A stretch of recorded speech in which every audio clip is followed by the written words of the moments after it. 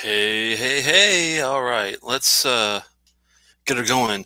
Thanks for uh, stopping by the uh, live chat after the short review. Um, if you don't have a lot of time to hang around with this uh, for a couple hours, which I understand, then uh, check out the short review. Uh, I'll have it on the side, viewable and searchable. We took a look at the GlenDronach 12, and this is what I'll be getting into with a malt here.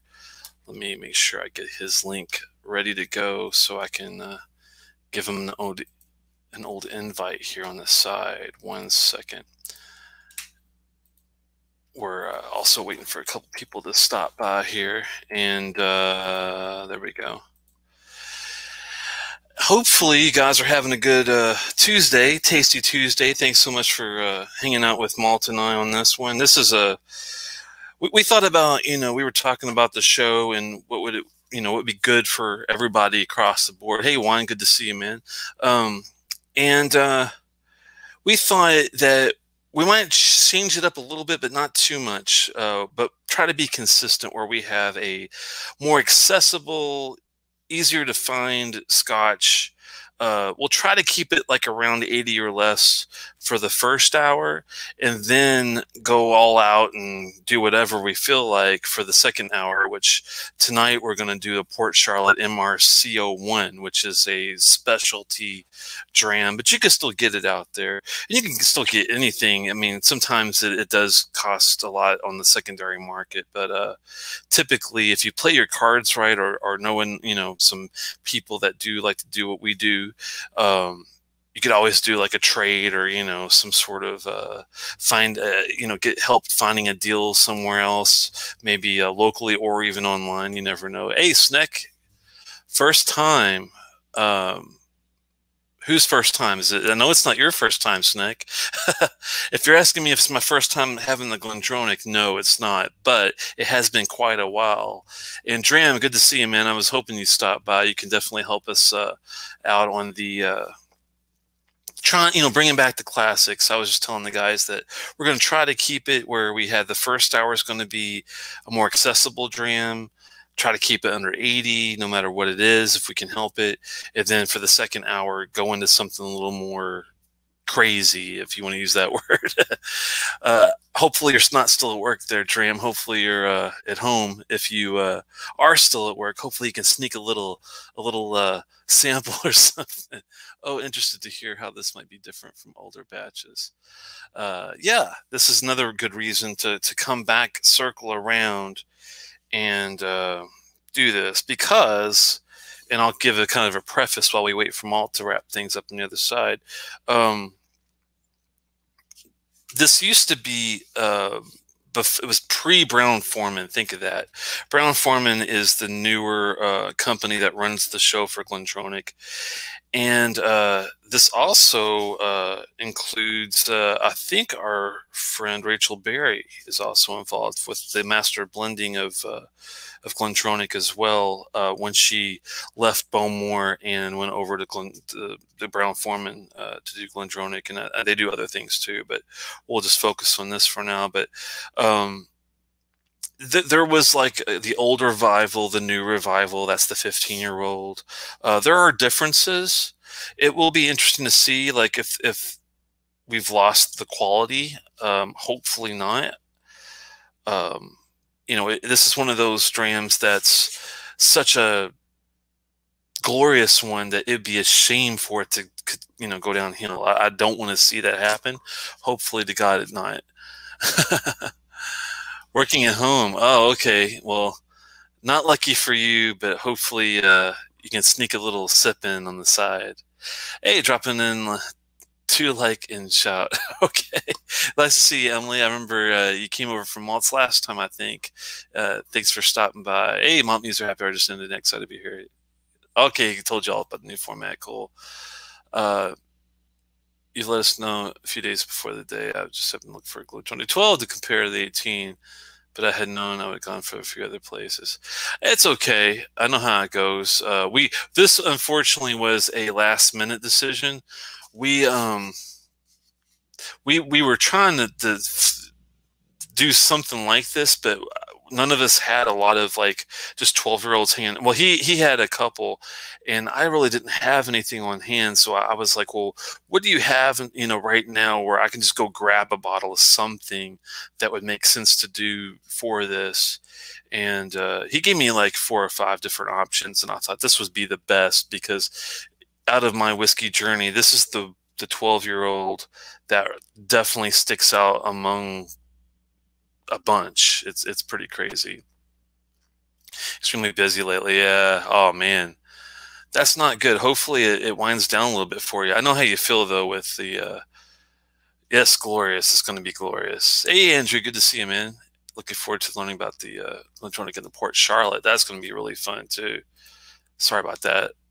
Lucky to have work. That's true. That's the way I feel too, man. It's like I, I, don't even want to. Well, you can't. You almost have to stop and think, but you don't want really want to think about all the people that are still having issues with all this uh, COVID nineteen insanity going on. I feel bad for them, and hopefully they can find a way. Hey, good to see you there, Stephen Connor. I was hoping you'd turn up for uh, one of these to see what you thought too on the old classic. Risky friend, good to see you. Yeah, I think this might help out. Killer, Kilkerran 12, we'll have to take a look at that. That's definitely on the radar. Hey, Moose, good to see you, man. Oh, wow. Four out of five on the 12. You're the nicest grader ever. I knew you would say that, Dustin. Uh, we'll get to that in a second. Come on, good to see you. And there's our buddy. Let's see if I can snag him in here. What's hey, up? Excuse me. Uh oh. How's it going? You you you turn that way. How's it going, man? Oh, it's going, man. Oh lordy. Allergies are getting a little crazy. Oh, I was hoping it wasn't something like the yeah. rhinovirus. How are you, man? Yeah, well, hopefully you get that. What's up, buddy? How are you? I'm pretty good. I was just uh, chatting with them, and it looks like you gave them a heads up of what was to come with the uh, the 12 in the uh, Glendronach 12 in the uh, Port Charlotte in uh, the switcheroo with trying to do a little more accessible stuff in the first and then the the little yeah, more rare yeah, stuff. Definitely, yeah. Um, yeah, I was talking a little bit on the show, and we're going to do the uh, Glendronach 12 original and then the uh, Port Charlotte MRC one in the second hour. It's gonna be awesome. So we got a new one, uh, Molasses. Good to meet you. I don't think I've seen you before and you're doing a virtual whiskey pro, uh, whiskey pub crawl. That's awesome. And oh, Eric is a good yeah. channel too. I like Eric a lot. That's me. and we were just chatting. Yeah, thanks for swinging on over, molasses. Oh wow, man, they're they're going crazy already.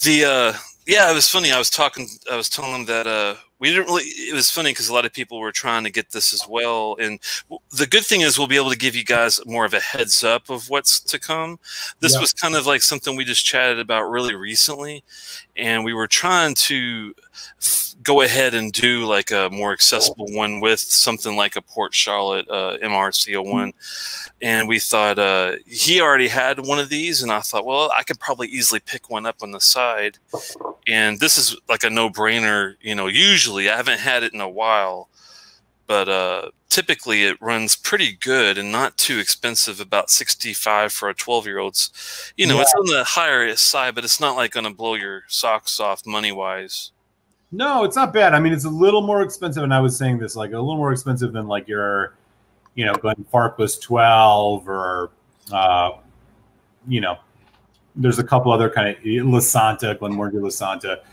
La Um, but 46% non-chill natural, or I'm sorry, 43%. I got that wrong.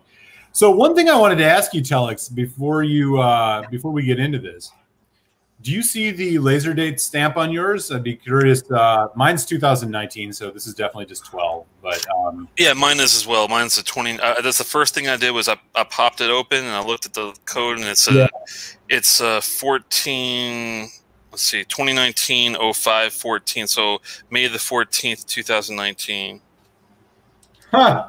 Funny you say that, man. Mine is, yeah, mine is 05 13. Isn't that funny? How close they are. It's like literally as close as they get. So I'm glad you didn't pull out like an old pre-found Brown Forman bottle, though. That's a good thing that you didn't get a different year. So. mm-hmm. Yeah, definitely, man. um, yeah, we can get into them in a sec. But uh, what's been up with you, man? What um, have you got yourself anything new recently? I have well, I've been working out like some deals on the side, and I've kind of I, I, told you kind of a little bit about it. I've got a couple uh, good options coming down the pike. Uh, thankfully, both uh, Malt and I have the new Carriages 2020 coming, and I have it here on hand. And Malt thought he might get it today, and we were going to do it, but it didn't come. Wow. But hopefully, by the next show, the Carriages 2020 will be a definite one that we can go ahead and do with you guys. Um, the I did get my hands on the Tamdhu 15, which I'm eager to get out to you, as well as the limited release of the Ardbeg Black, not the committee, but the limited one. Yeah. Uh, which I've actually heard it might even be better, believe it or not. So we'll, we'll have to see about that. Um, and I've been I've got an Aultmore 21 on hold for me, and also a Kilchoman Am Burach, which is going to be it's the mess uh, they basically messed up and have uh, some ported whiskey with some peated whiskey. It was really crazy. Um, but that one is actually going to be coming, I think, the end of this week or, or, next week. So those two will be on hand with those other. Those will be like the next four that I ship to to uh, Eric. I think at this point. Yeah, man. I mean, I think like we got a lot of exciting stuff coming, man. We've uh, we've been taking your all's advice we've been thinking through this. The show's been continuing to evolve, and um, yeah, we're gonna we're gonna have a whole bunch of fun stuff coming. I think I got a good amount of samples coming your way, um, and uh, you know we're gonna keep trying to do stuff that's revisiting some classics and uh, and uh, trying some stuff that's a little more out there. So hopefully there's a little bit for everybody, and you know it's all about increasing uh, increasing the uh, conversation and everybody learning from everybody and it'll all be a lot of fun, man. So I'm looking forward to it. And give us some give us some ideas as far as like what accessible whiskeys would you like to see us take a look at? Uh, I know the Glen Garioch 12 was one that was uh, oh, yeah. mentioned before. I love the Glen Garioch 12. Yeah. I'll see if I can find it. That's a that's not easy to find, but I'll see if I can find the 12. I'd really love to find the 15, but that one's really tough to find. yeah. But a Glen Garioch 12 would be a good a good entry, like one accessible one to get if we can find it. Uh, but think, I mean, think of anything. I, I mean, I'm even talking like Macallan 12 is one that was on the radar. A lot of people like that. 12. Yeah, that would be interesting. I don't remember the last time I had one of those. So they have like the sherry oak and then the double cask, right? i would stick to the sherry probably if it was me, unless you really wanted to do an oakier one. But I tend to like the sherry ones more than the uh, straightforward oaky woody ones. But I'm I'm up for anything at this point. yeah, I'm with you on that. All right, man. Talisker uh, 10, that sounds good too. But yeah, let us know uh, what you guys think as far as what we should try. That could be fun. Um, Not for you. yeah, well, yeah. Well, we'll see, right? It's been a little while. We could we could put that in the last uh the last of the accessible ones. Yeah, yeah. Well, my review coming out Friday is Talisker 18, and and as somebody who is not a big Talisker fan, uh, uh, y'all might be in for a little bit of surprise on what I thought about that one. Awesome. Um. Anyways, so should we get into the Glendronach? Yeah, man. Go ahead and uh... let's set the table here. So Glendronach, 12 years old. This is what would be widely considered their introductory range whiskey. Um, this is, uh, again, 12 years. It is Pedro Ximénez and Oloroso sherry. So, really, what you're getting is like Pedro Ximénez tends to be sweeter. Oloroso is kind of more drier dark fruit. So, it's a fully sherried whiskey. It is 43% ABV, non chill, and natural colored. I love that too. yeah. I mean, you got to appreciate that, right? Um, especially at 43%, sometimes you don't find the non-chill factor there just because, you know, we don't got to get into the details, but usually, you know, the ABV thing or whatever. Um, and yeah, you know, so Glendronach is considered, I believe, a Highland malt, if I'm not mistaken. Yeah. Into the and stuff. And it doesn't even taste like a Highland. It's more like a Speyside to me in the profile, you know, because Highlands typically are more floral, but this one is a great Highland. yeah. No, that's helpful context. Um, you know, kind of distinguishing. So like the region stuff is debatable in terms of like it was a marketing thing, but it also has, you know, there's some somewhat similarity. I don't know if you want to elaborate at all on that, Telex, but um, you know, it's take it for what it's worth. I'll put it that way. Yeah, I mean, typically you've got your your Islas, which are typically peated, but there are some great non-peated distilleries like Bunnahabhain out there that put out both peated and non-peated offerings. So you can't you could take it with a grain of salt. Campbeltown has the nice funkiness uh, in the background. There's only a few distilleries though that do Campbeltown. Lowlands are really like typically, and there's Bladnoch will fool you because they have some great fruit, but uh, they're usually on the lighter and even triple distilled like an Auchentoshan.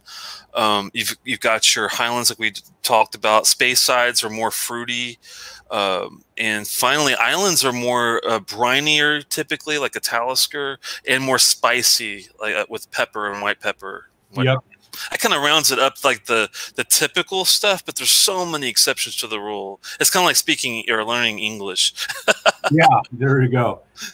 Totally. Um, and so the other thing that I think is of note about this 12 year old original is the fact that it's it's non chill filter, right? Um, I know, Telex, do you want to share a little bit about like chill filtration and like why non chill filtration is usually something to folks should look out for and why it's a, a good thing to go for the non chill filtered whiskeys?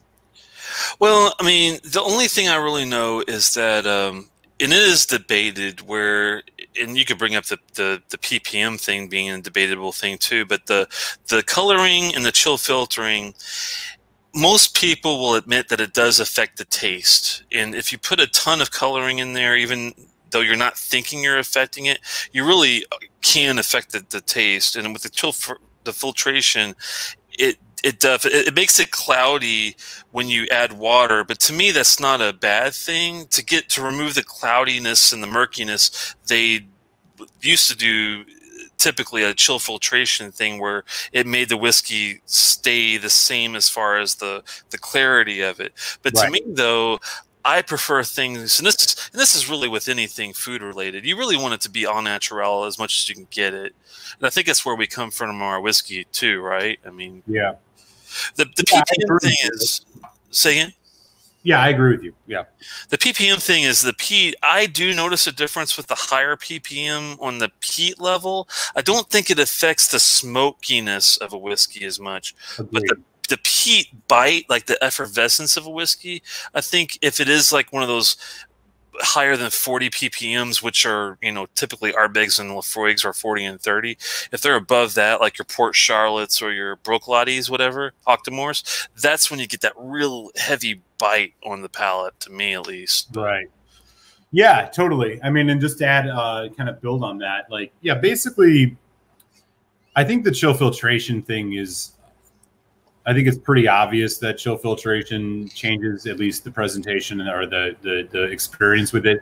It strips out some of the fatty acids, which have a lot of like flavor and gives you more about mouthfeel, specifically like the esters, as it's called. If you get into like the specifics of it, the coloring thing is like Scotch whiskey allows you to add E E150A, of course, which is to try to get like consistency in presentation. But there are, I think, with color, it's I personally can't say I've ever really noticed, but some people say, you know, they can definitely tell adding color has had anything to it. But this uh, Glendronach 12 is a non-chill filtered natural, so that's uh, all pluses and not something you often uh, uh, see quite frequently in a younger whiskey. So I'm going to take the cap off this, and um, shall we dive in? Oh yeah, two big pluses on the NCF and the NC. I like to call it non-chill Oh. filter, non-color.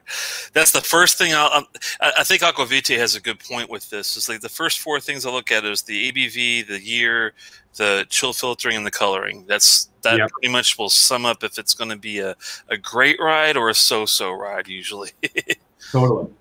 But don't let it. I mean, if it is chill filtered and colored, don't let it like completely turn you off. Because I've had some decent Flora and Fauna bottles I've, I've done in the past where I'm like yeah. surprised by how actually how good they actually still are, even being at a you know a lower ABV and coloring and chill filtering and all that. There still can be some gems. So Right. So I noticed Alan, the whiskey friend, is a big fan of this Glendronach 12 and said it's one of the best 12 year olds.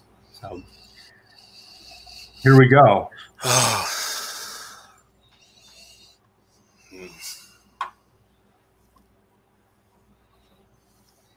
So my, you want to go first on the nose, or I can? um, it, it, it, it's up to you either way. I, I don't mind. Sure, I'll dive in. All right. So immediately on the nose, for something like this, there's a little bit of a sharpness, which may be you know slight alcohol, slight youthiness. Uh, but majority for me, it's like creamy vanilla, and then a lot of like rich red fruits, and they're very bright and they're very in your face. They're very loud, which is again, if this is a younger whiskey. I mean, I want to say it's like it's a bit of raspberry. It's a bit of red apple. It's a bit of there's a little bit of a mint thing going on too, but it's like vanilla, bright kind of juicy red fruit, and uh, a slight kind of either it's alcohol astringency or mint. I think you're onto something there because I, I, do have a I have an herb, but a different herb, but I, I, I think I know what you're talking about there. There's a little bit of there's a little bit of a a, a spiciness to it too, and I want to say it's like ginger nutmeg kind of thing. Just kind of a nice kind of robust, sharp, slightly slightly tan, uh, uh, almost almost uh, citric. This is why I love doing these because you get like a note, and I, and as soon as you said ginger, I'm like, oh, he's right. There's like actually a lot of ginger on the nose here, and I didn't even get that on my first go around. yeah, it's a little bit of ginger. It's it's it's kind of masked over by what I think is that kind of vanilla, and it, you know, almost maybe like a toffee note too. Yeah, for me, it's like the first thing. It, it was like a one-two punch. The first punch I got was a citrusy punch, like a orange lemon thing, but it's very short. And then right after that's where I got the same fruit explosion of deep reds, like the uh, currants and strawberries and yeah, currants. Yeah, some dark spices are in there, and I couldn't determine if it was like a peppery or a cinnamon type. But I think nutmeg is the best. Uh, you, you nailed it with the nutmeg. I, I didn't clarify that, but I did get like a basil note, which I think is the same as your mint. It's like a like an herbal okay. kind of note. A little more rounded, right? Yeah. Yeah. Not, it's not quite basil for me, but I sort of see what you're saying. A little bit of tobacco, even, but no smoke. I don't get smoke, but I do get like a hint of tobacco on the on the end too. Hmm. Like a tea bag tobacco combination. Interesting. Yeah. All in all, like quite pleasant on the nose. I mean, it's not super complex, but like it's got a couple really loud notes and quite inviting. Yeah, I mean, it, it all goes together for me. I, I love the nose in this one. Yeah. It's like uh, you know, some folks describe these whiskeys as like Christmas Christmas spices. I think that's here, but it's it's a little bit more it's a little flatter and a little sweeter than I it doesn't have that depth and robustness of like Christmas fights, but it's there.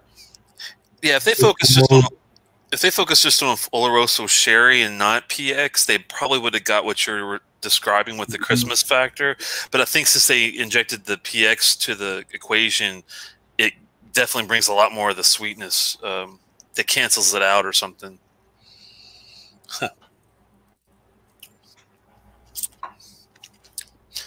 Love that palate, man. It's got a lot of toffee, vanilla, dark, more dark fruits, a little bit of milk chocolate, and it's a glorious heavy mouth coat. I mean, it's it's almost Clynelish heavy level to me.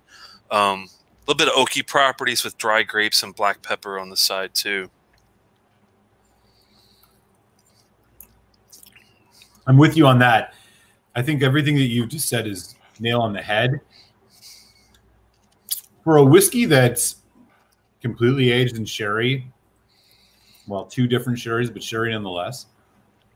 There are surprisingly a lot of what I guess I would characterize as more traditional bourbon notes in this.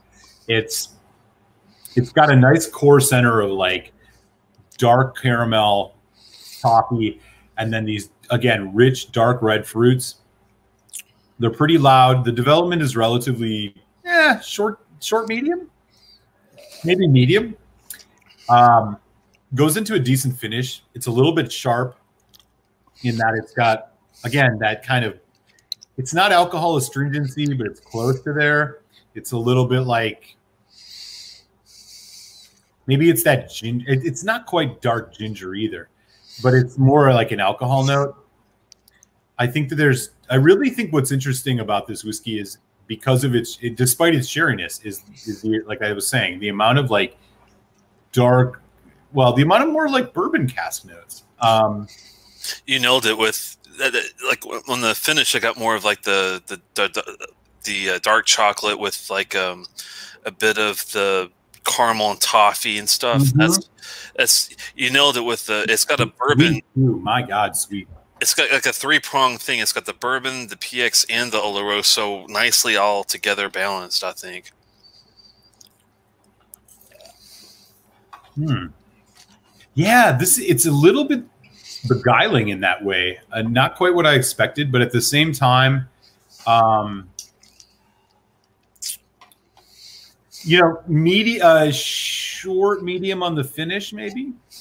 Um, it does drop off quite a bit. I mean, this is only a 12 year, so it's not an extended development. But I think you're left with like, again, uh, I get a spearmint, a kind of a menthol coolness. There's there's those the, the sherry notes and the well the px shows up more on the finish where you're left with that kind of sweetness almost like a tart sweetness. Not tart i should take that back. It's more of like a like a tangy sweetness not tart. Um you know it's youthful it's vibrant it's pretty loud it's got a couple notes going for it but it's you know pretty tasty. I get a lot of leather and cinnamon on the finish too with uh, mm. It's it's weird. Like the first time I had it, I was like you. I, thought it was a bit short to medium, and then after a couple more sips, and let it kind of settle, it went to more medium to long. It, it it it definitely is one of those that takes a few drams to really I think get it to last longer. I don't know if, if, it's just because I've had a lot of it to drink tonight, but it's it's it, it's got like a ginger snap kind of feel at the end to me. It's it's yeah, no, I'm with you on that. There's it's like baking spices. I'm gonna add a couple drops to see if. uh I have to tell you, like, um this has got it. I think the most interesting thing that I'm picking up on this is really the how kind of bourbony it is despite being all Oloroso PX.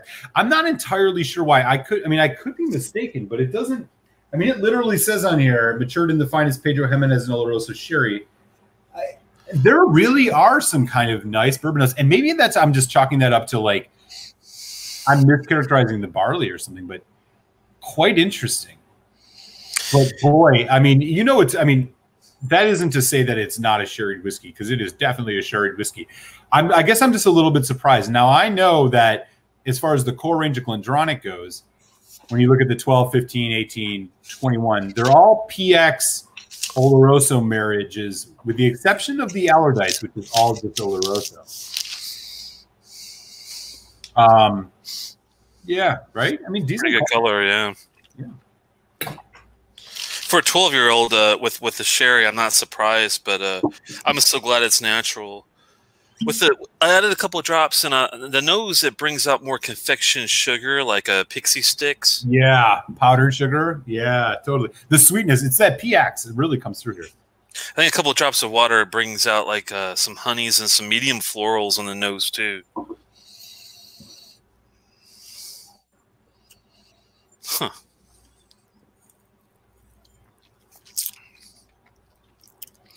Oh wow! It also brings out a little bit more hazelnuts and figs, dates, and almonds on the uh, palate. A little nuttier.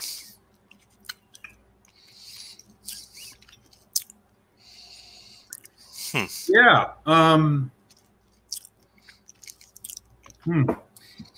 There is there is a real like core to this whiskey, which I do just like I just can't shake, which is very much like caramel. I'm not brown sugar, but close. Yeah, it's caramel and vanilla, like which is what I would normally say are the kind of things you get off bourbon. Um, very true. It's interesting how they kind of balance with the sherry here. What I like with the water for the finish too is it brings out waxiness. It doesn't it doesn't take away from the medium to heavy mouth coat, but it's like um, it gets a little waxy, and that ginger snap thing is still going on. It's very nicely balanced with the savory side and the sweet side. To me, it's not too much one way or another. Like the Longmorns usually tend to be overly savory, and like your Macallans and some of your um, others are, are, if they're heavy on the PX side, they're they're too sweet. So this one to me is like in in malt's dead on with the, the the, the trifecta basically of the bourbon notes, the PX notes, and the Oloroso sherry. I think is what really makes this shine as a yeah. I, I'm I mean I'm quite enjoying it, and so after having these tastings, you know, we're we're talking about a whiskey here that's it's entry level, but it's also a little bit pricier on the entry level scale, right? I mean, like this is not, you know, this is a 60 $65 whiskey in comparison to sometimes where like, you know, you can get some sherried whiskeys. You think Glenfarclas, as I was mentioning earlier, you know, Highland Park 12, uh, Macallan 12, which is like in the same price range. Um, it would be fun to compare the two, but you know, as a 12 year old whiskey. Yeah like what, what, what would you, curious to hear kind of where you landed on it what would you get uh, I, I, I was torn the first time i tried this i only gave it and it's funny dustin's gonna laugh i gave it a 3.5 when i first had it like a three years ago and i was like you know floored by it being great but i thought well surely this is not you know, I can't grade it like a four because it's not going to be as good as some 15s, 18s, 21s and stuff. But well, yeah, to me, to me and I, I want to hear Dustin's uh, comeback because I know he was surprised. Uh, uh, I give it a four out of five. I think it's a, one of the best 12 year old whiskeys next to maybe Bunnahabhain 12. And I mean, the Lagavulin 12 is, is a specialty because that's a cask strength, but like right. uh, Springbank 12, yeah. Yeah, but like a Springbank 12 cask, I mean, that's cask strength as well. But like, if you, for your run of the mill 12 year olds that are not specialty, that are 43%, I can't really think of much that would beat this guy. I mean, let me ask you a question. Yeah. How would you now? This is a, it's comparing it to a non sherry, but last week we talked about the Balvenie single barrel 12 year old. In terms of like, you know, you pay 10 bucks more for the Balvenie, maybe how would you think this ranks up against something like that? I think the Balvenie is the that 12 uh, year old single barrel is solid, but I think it depends on the audience. Like if, if for me, for me being more of a sherry head than a true straightforward bourbon head. I'm going to go for this one a little. I mean, I'm talking minuscule difference though, as far as quality. I think the, that Balvenie 12 single barrel. If I was a bourbon guy and not so much a sherry guy, I would be all over that Balvenie like like crazy, man. That that, that stuff was really good, and I appreciate a good bourbon uh, ex bourbon cask as well. I mean, is anybody? Yeah, else? no. I mean, I think you're. I like. I think. uh so you you you you went four out of five on this one. That, that's the way I felt about it. Thinking, let, yeah. me see what, let me see what Dustin says here. If you're not grading by price, giving something a, a four and saying not, mm. yeah, I don't, I don't put, I, I'm not grading due to value. I'm just grading this as a standalone 12 year old whiskey against other whiskey and i've had many many 12 year olds to me i'm uh, you, uh, you might not feel the same but i've had a boatload i'm talking hundreds of 12 year olds that can't hold a candle to this one and yeah. that's why this one to me is a four out of five when you're comparing i'm comparing to 200 and i forgot the count but it was like almost 200 distilleries you know of different 12 year olds yeah. i've had i've had just about yeah, every a lot of feedback coming in uh, from folks on on this one. I think I just saw Whiskey Friend and Donner Pass. You're bang on fella there is none better. Yeah, I mean that's it's really it's really tough to uh, to find. Uh, I, that's the challenge. I mean, find us a better twelve year old than this one, and that's the one we'll we'll we'll do next uh, time if we get a chance, or maybe maybe down the road we'll do it. yeah, I mean my my my final thing on this is like I don't think I'm gonna. I would go quite as high as you, but I think that the price. I look. I think supporting a whiskey that's non-chill, natural, even at this age, at this younger age, is good. Um, it does have an age statement, which I think is always good and at signaling to you. I'm uh, I'm in the three two five to three five range. And that's the another reason. recommend people get a bottle of this or try it if they find it at a really good price.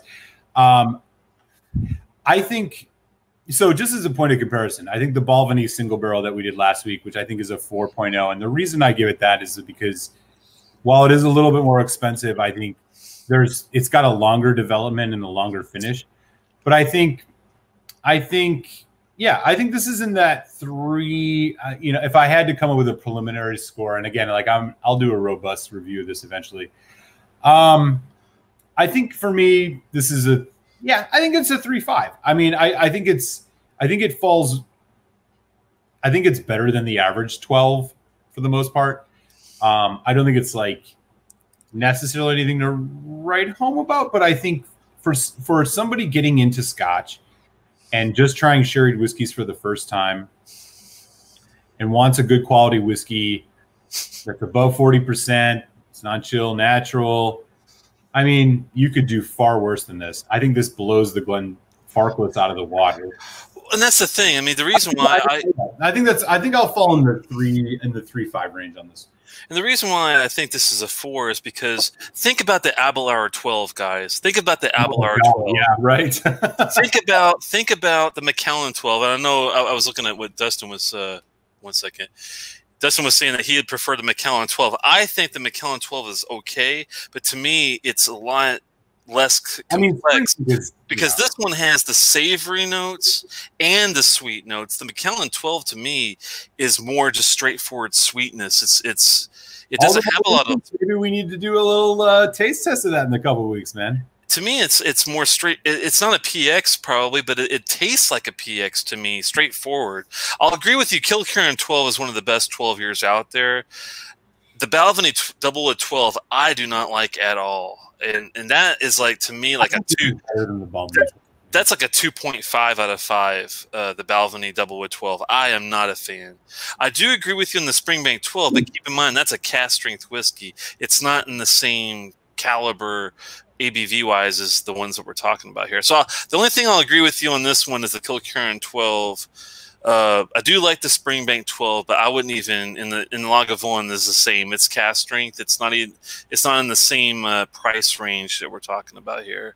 Mm-hmm. So that's where I'm kind of like, yeah, you know. Uh, DHS thinks that the Macallan 12 is way better. Are you talking about the sherry oak or the double oak? That that does make a big. Yeah, I'm not sure. I, I actually haven't had I I don't remember which one of those I had, so I'm not really sure. I have a feeling that he's going to say the not the sherry, but the uh, but the uh, the the woody one, the double oak, whatever. See, that's the thing. I think that's the difference between Dustin and I. He loves. Obviously, that he loves woody whiskey because he also likes the uh, double wood 12. I do not like overly oaky property whiskey. It's just, uh, it's just not for me. Oh, sherry oak for sure. Pass on double oak. Okay. Well, I guess we do agree on that. But huh. the the Bunnahabhain twelve, I'll agree with you. Is is that's is, a four out of five for me. The Buna twelve is a four out of five, and that's also a four out of five.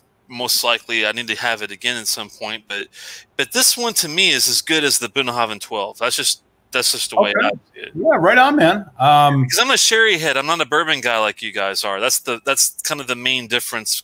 I think that's the reason why you like the Balvenie so much more. I mean, I like it, and I think it's like the Balvenie I would put right here, and the GlenDronach I put like barely above it. I mean, and like at the end of the day, this is all subjective to some degree, and like scores are just, you know, at the end of the day, what they are. But I think that like if you're you know, I, as I always say, like I try to put money into consideration. And for me, like I, I look at this and I say, three years ago when I was uh, getting into Scotch or whatever it was, five years ago, I don't remember. And I want to try a sherry bomb, and I tried the Dalmore. I tried this. I tried that, and like, yeah, I think this one is better. I mean, it doesn't. I I I appreciate how much it lights the world on fire for you, and like hearing the the praise and the and the notes that you're getting out of it i'm totally here I, you know that's great. Um and i think that like it's for me it's just if this was 45 50 bucks i'd probably bump it up to a 3.25 or a 3.5 but like i for me like it's it's right in there. I think this is a quality dram. I think it's a great way for folks who are like getting into sherry matured scotch or sherry influenced scotch for that matter to like get a sense of like what sherry brings to the profile. Yeah, I think it's totally there. Um, totally quality whiskey. I wouldn't sneeze at it. I'm not sure I'm going to run out and buy it if it's 70 bucks, but if it's 50, yeah, I mean, totally worth it. So well, uh, take, take, this to heed, folks. Uh, uh, for those of you who are like, you know, just kind of getting into your whiskey journey or in your sherry journey for that matter, keep your eyes out for this one. Um, I think it's a good pour. And plus, you get the non chill natural, which is like something you don't find as much uh, on the younger whiskeys. So for me though, I, have to disagree. Like on, on this one with uh, with Dustin, I know he was saying that he thinks it sucks for a sherry whiskey, but uh, I just I, I would not say this sucks by any means. I think it's one of the better sherry drams if you compare it to most of the well known ones. It is just it is subjective to to an extent, I think, in some level, but uh, yeah. Sometimes you just have to agree to disagree, I guess, on that one. But it, to me, you'll never see this below sixty bucks because this is well worth above fifty dollars to me. I was. That he found it for forty by him. I mean, that's a killer price. That is a killer price, and I would jump all day for forty dollars for this. To me, this being fifty-five to 60, 65 being being like teetering toward the higher end, I think is a, a, great price for it. I wouldn't change it. Once you get past like 70 though, that's when I would draw the line and not not even go sure, there. Sure. Yeah, yeah. Yeah. Someone said something here. Let me go back up one second. I missed something with uh,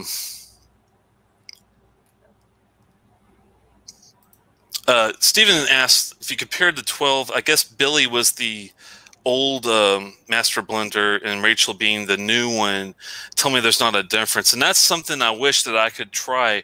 When I've got my first brown um, Forman bottle, and this was like even three or four years ago. She already was was on board, so I didn't get a chance to try the old old version. But what I've noticed by a lot of whiskey, uh, and I think this has to do with a lot of people that don't like some of this newer stuff, is it's always best when it's first released. so typically, mm-hmm. when, you know, you, you go downhill with you know more releases and more time and all that, but I don't know. Yeah, no, I mean, uh, and so the other thing I was thinking about is like when you think about other 12 year old sherry whiskeys, and we're talking about like you're just getting into exploring sherry whiskeys. Obviously, the uh, the Glendronach 12 is high on your list. Like, what other ones would you compare it to, or do you think there are other ones that are worth trying that are not necessarily, um, you know, maybe as good or like comparable? Like, are there other 12 year old kind of maybe even less, and we can even go 10, right?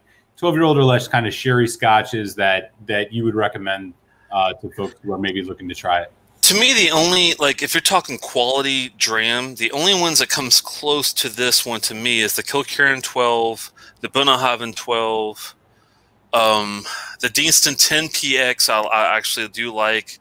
Um, but see, that's a, then that's another difference between me and some of these other guys, like Steven. Steven's not a big PX fan. I, I like PX, and sometimes even prefer more than Oloroso, depending on how it's done. So that that's a big factor, I think, in all this as well. When you're talking about even just the sherry stuff, I think this kicks the shit out of any Aberlour you'd ever put in front of me.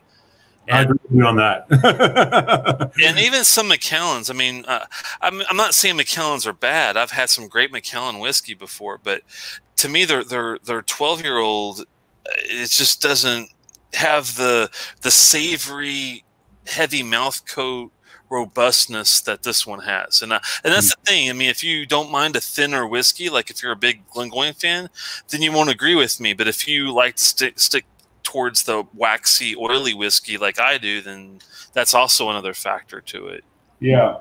I'm gonna actually pour myself a little bit more of this, man, because you know what? I'm kind of enjoying it. It is damn good. I'm gonna have. You, man. I hope you guys all enjoyed our like uh, tasting of the Glendronach 12, and do let us know in the chat if you've had it, if you agree, disagree, indifferent to it. Uh, other 12 year old sherry whiskeys that maybe uh, uh, things that you enjoy and would recommend. Um, we've heard some talk about the Macallan.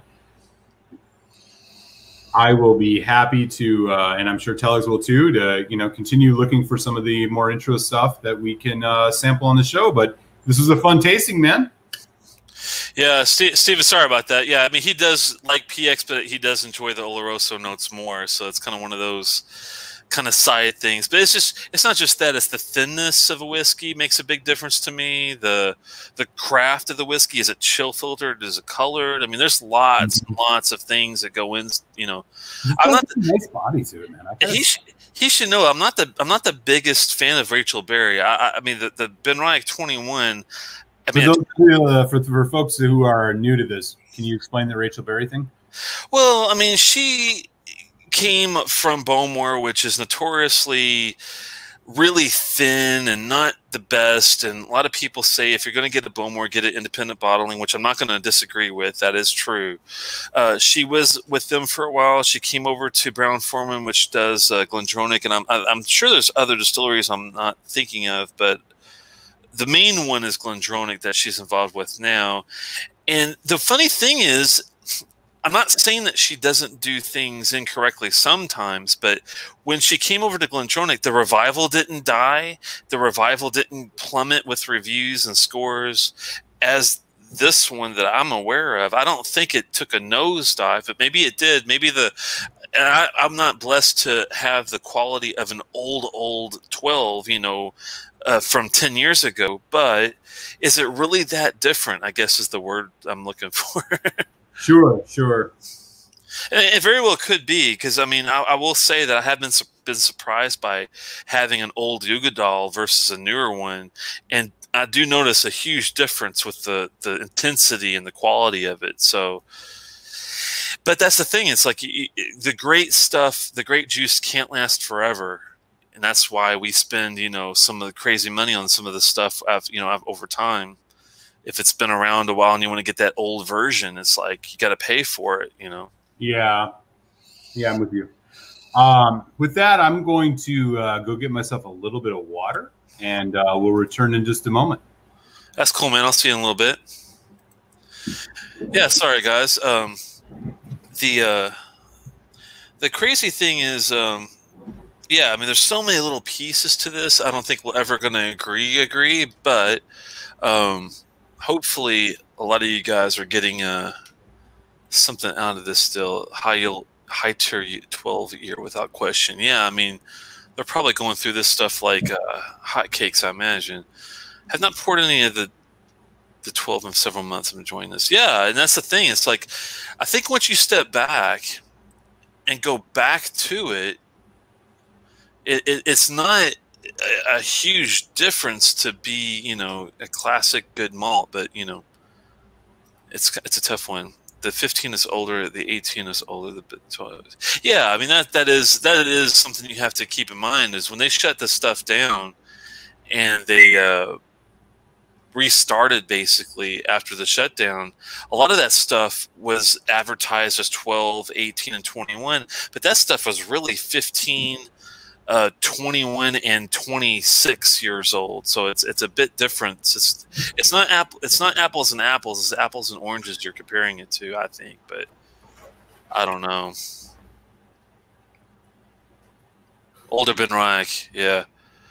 Ben BenRiach, uh, that that 21 was not as good as I was hoping it was going to be, and that's that's you know my point with. I'm not to I'm not going to always uh, like what she does, that's for sure. Does your new 12 actually have Rachel's name on it? Um, I believe it does, because I thought I was looking and saw it somewhere. Maybe. Just double check. Yeah, she's on the uh, the middle bottom. This is a 2019 bottle, so it's not like it's uh, an old bottle or anything. But uh, like I said, I mean, this is a legitimate 12 year old, and I think some of the ones that you guys are – drooling over are you know not necessarily 12 year old whiskey either but we'll have to check that out later. The 2003 oogie is awesome. Yeah that i think everybody will agree with. And i think maybe that's the big difference. I haven't had any of the really really old stuff. The 1918s in the states still have billy on it.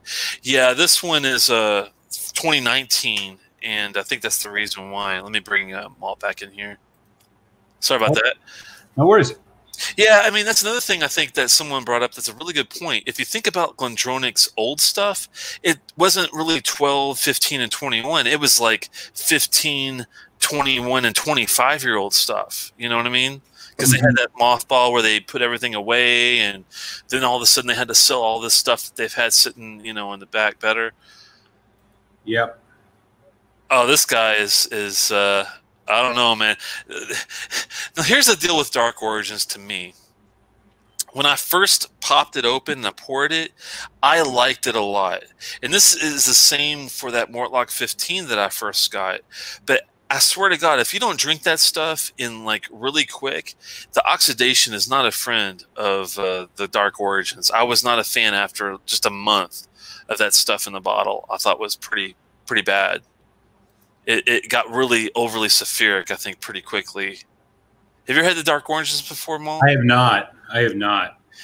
It is worth getting your hands on. You can ask, uh, believe it or not, I still see it in the store all the time, even though it's been discontinued for, I think, a couple of years uh, now.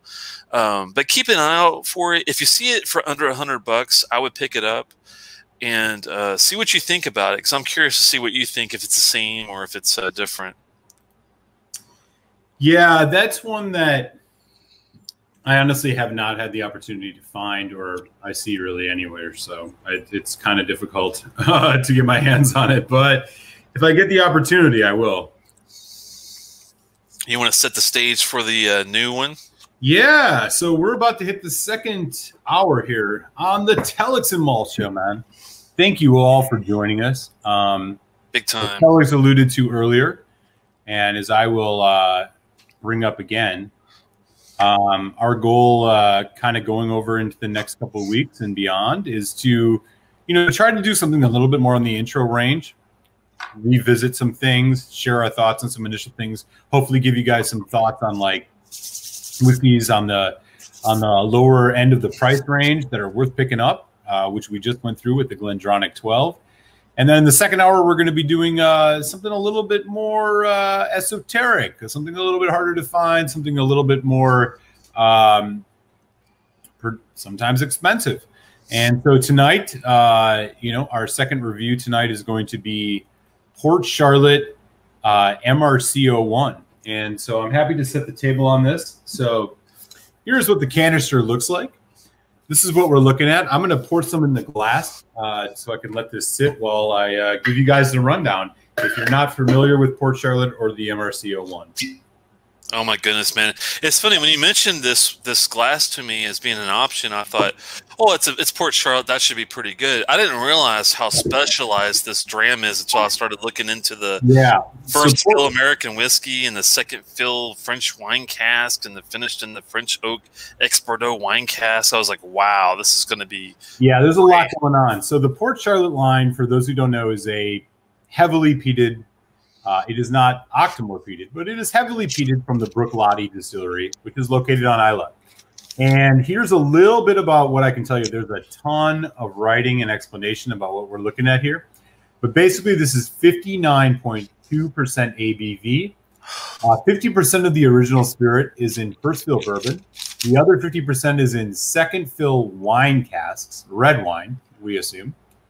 Uh, and then they're married together for another year in uh, French oak, which is uh, well, it's French oak from the Bordeaux region. So another wine cask. So basically, what we're looking at here is a heavily peated whiskey that has been put into a variety of wine casks.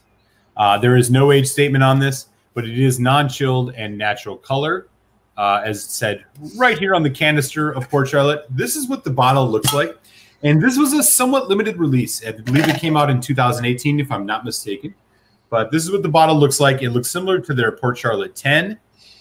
Um, yeah, 59.2%. Conceived, distilled, matured, and bottled at Bruichladdich. Um, seven aged, seven year. Oh, it's seven years old. It's seven yeah. years in oak cask, distilled in 2010, bottled in 2018. So it's a seven year old whiskey. Yeah, I was gonna say this was distilled in 2010, so this is going to be a really nice one, I think. So this is a little bit of a uh, a special Bruichladdich. Not necessarily the easiest thing to get your hands on, but you might be able to find it. There's also an MCO one, uh, which I believe is a little bit older.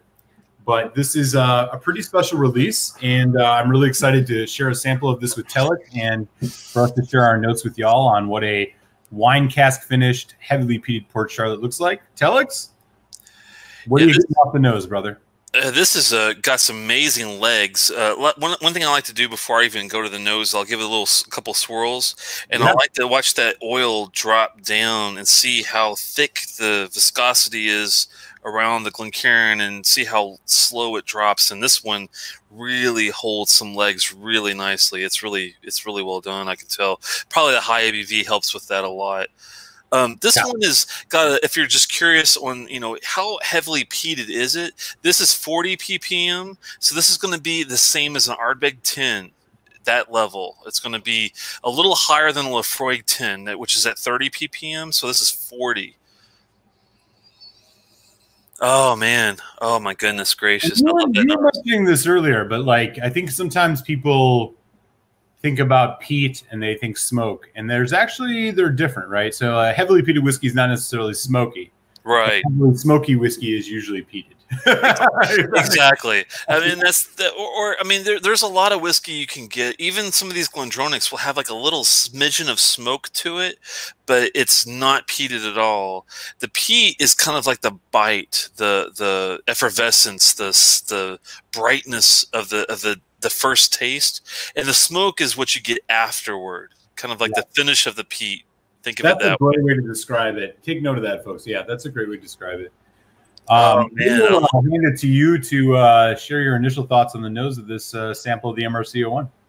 The first note, which I love, I, I, I get the peat smoke from the bat, and, and, there's a really nice glazed Virginia ham going on in this glass. Ooh, I like it. Oh, I even get the pineapple for God's sake.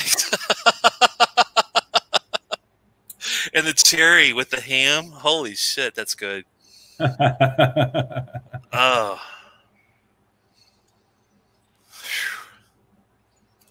It's a very young whiskey, and you can tell. It's spirity. It's got that kind of uh, wet cement, kind of clay note. But boy, those bright fruit notes accenting that are huge. And with heavy smoke. And with like a peated whiskey, it being young is not a bad thing. Super. Sometimes you want a little bite with your your your peated whiskey, so you might want a little bit of youth. Oh yeah. In in there with some older stuff, so don't be you know hesitant to know that it's got some four or five year old peated stuff. I mean that's that's actually a good thing sometimes. Yep. There's a little bit of a peppermint a little bit of a citrus, and then yeah, it's just like those bright red fruits. Yeah, that's why I got the cherry from. It's funny because I got a little bit of a tropical note with the pineapple, a little bit of the sure. red fruit with the cherry, and a lot of brisket. Man, oh my god, it's got brisket in the face. Yep. Yeah, I mean, honestly, our our nose notes are pretty similar on this one, man. It's like pulled pork barbecue. Maybe a little bit of pepper or spice, but I can't tell until I have a little sip here. well, let's do it, man. All right, down the hatch. This is neat, by the way. Oh my goodness gracious. 58 uh, 59.2 holy moly that's good though it doesn't taste hot it doesn't really burn or anything oh man wow Rich. Damn, I gotta get a bottle of this, dude. My lord. So much pepper. Good black pepper though, and it's it's yeah. it's not in your overly in your face like some like Kergelikis can be. Like it's it, or Taliskers. It's not too much. It's like just the right amount. I gotta grab my water. One sec. Oh my! I'm surprised at how well this this taste on the palate with with that high ABV. Don't really. I mean, honestly, if you blind tested me right now, and you said, "Okay, Telex, I want you to tell me what the ABV in this is," I would probably say, I mean, I could tell the ABV usually, but this one will really fool you. I would probably say this was like a 52, 51. I wouldn't think it'd be as high as almost 60. Right. Oh, like yeah, the palate on this for me, it's it's wise beyond its years. It's longer than you'd expect from a young whiskey. You can definitely taste taste the useful the youthfulness, youthfulness, usefulness in this. Um, just so much going on. Red fruit, Oh man, that finish is glorious. slight slight cinnamon, spice, nutmeg, pepper. There's a citrus bite, and then it goes into a incredibly long finish. That nutmeg was spot Yeah. on. I was like, what is that spice I'm getting? It's not cinnamon, it's not uh peppery, it's something else and I think nutmeg was a really good uh it has almost like an eggnoggy feel It's, to it's, it. it's less. It's less. I I would honestly say it's like allspice. Yeah, Chinese, yeah, allspice, yeah. Five spice five uh five uh spice. and a long finish, like a longer finish than you would expect. It's subtle, like the finish. You get a little bit of the fruit notes, that ashiness, spice. Holy shit, where did you find this, dude? Dude, I got lucky, man. So this is uh I found it at a whiskey shop. It's about 125 a bottle. I That's not bad. For this Yeah, I, I was thinking I was thinking you were gonna say 150 to 175 to be honest with you. So that's yeah, I got it 125, and I was I was lucky on that. I mean, nowadays, I mean, this is probably about a year old in terms of release, so it's probably a little bit harder to get. Uh, really special, man. I mean, Bruichladdich's been doing tons of amazing stuff. This one is clearly like right in there for me. This is my wheelhouse, guys. This is like exactly what I. I knew you'd dig it the most, brother. That's why I was happy to get you a sample of this. Holy moly, this is insane. This is like I'm. I'm a. I I know you weren't as as much as a fan as I was of the Kilchoman red wine cast, but to me, this is on that level, dude. I mean, it's like fucking insane. man that that development how you go from like sweet fruit and the tartness and the like juiciness and then it's just immediate. It's like a sh- it's a huge spice bomb and yet the spice bomb it's rounded. It's not acidic. It's so rounded. It's really. Sm- I had to use the word smooth, but it is very smooth on the delivery. it's like it's like every spice note has a has a vanilla a drop of vanilla caramel in it that just rounds it out. Quite special man. My God, I, I'm surprised at how good this actually is. Uh, Now, if you were thinking back to the Kilchoman Red Wine Cask, which is kind of similar, would you rate this like way above, a little above? Uh, h- h- what was the difference for you between the two drams, if you can remember? I think that the Kilchoman, the Kilchoman didn't have the like prolonged development that this one does, and honestly, I just felt that it had. It was a little bit. It just wasn't as complex. it definitely doesn't have the nice spice factor this one has. I do like the spice in this one. Yeah, I mean, I think this is just a step above. I mean, you, you said spice, and I think that makes sense. Like for me, it just the development is just so prolonged. The the one on the on the Kilchoman, it was like it was a little bit more glossed over with the red wine than this one. The red wine, I think, plays more harmoniously with the like heavy peat, barley sugar kind of even the bourbon notes to some degree. Whereas in the in the red wine, Kilchoman, I felt like it was all kind of papered over with this kind of cloying, uh, rounded off red wine failing. So like I just think the the complexity of this that bourbon God man, I'm still getting it on the finish.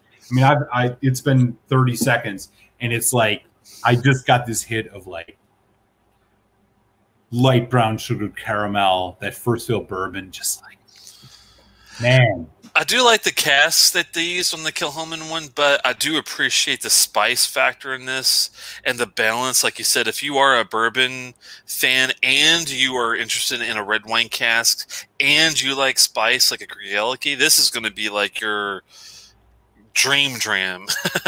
Yeah, Really? Love right? I mean, this is like this is this is insane.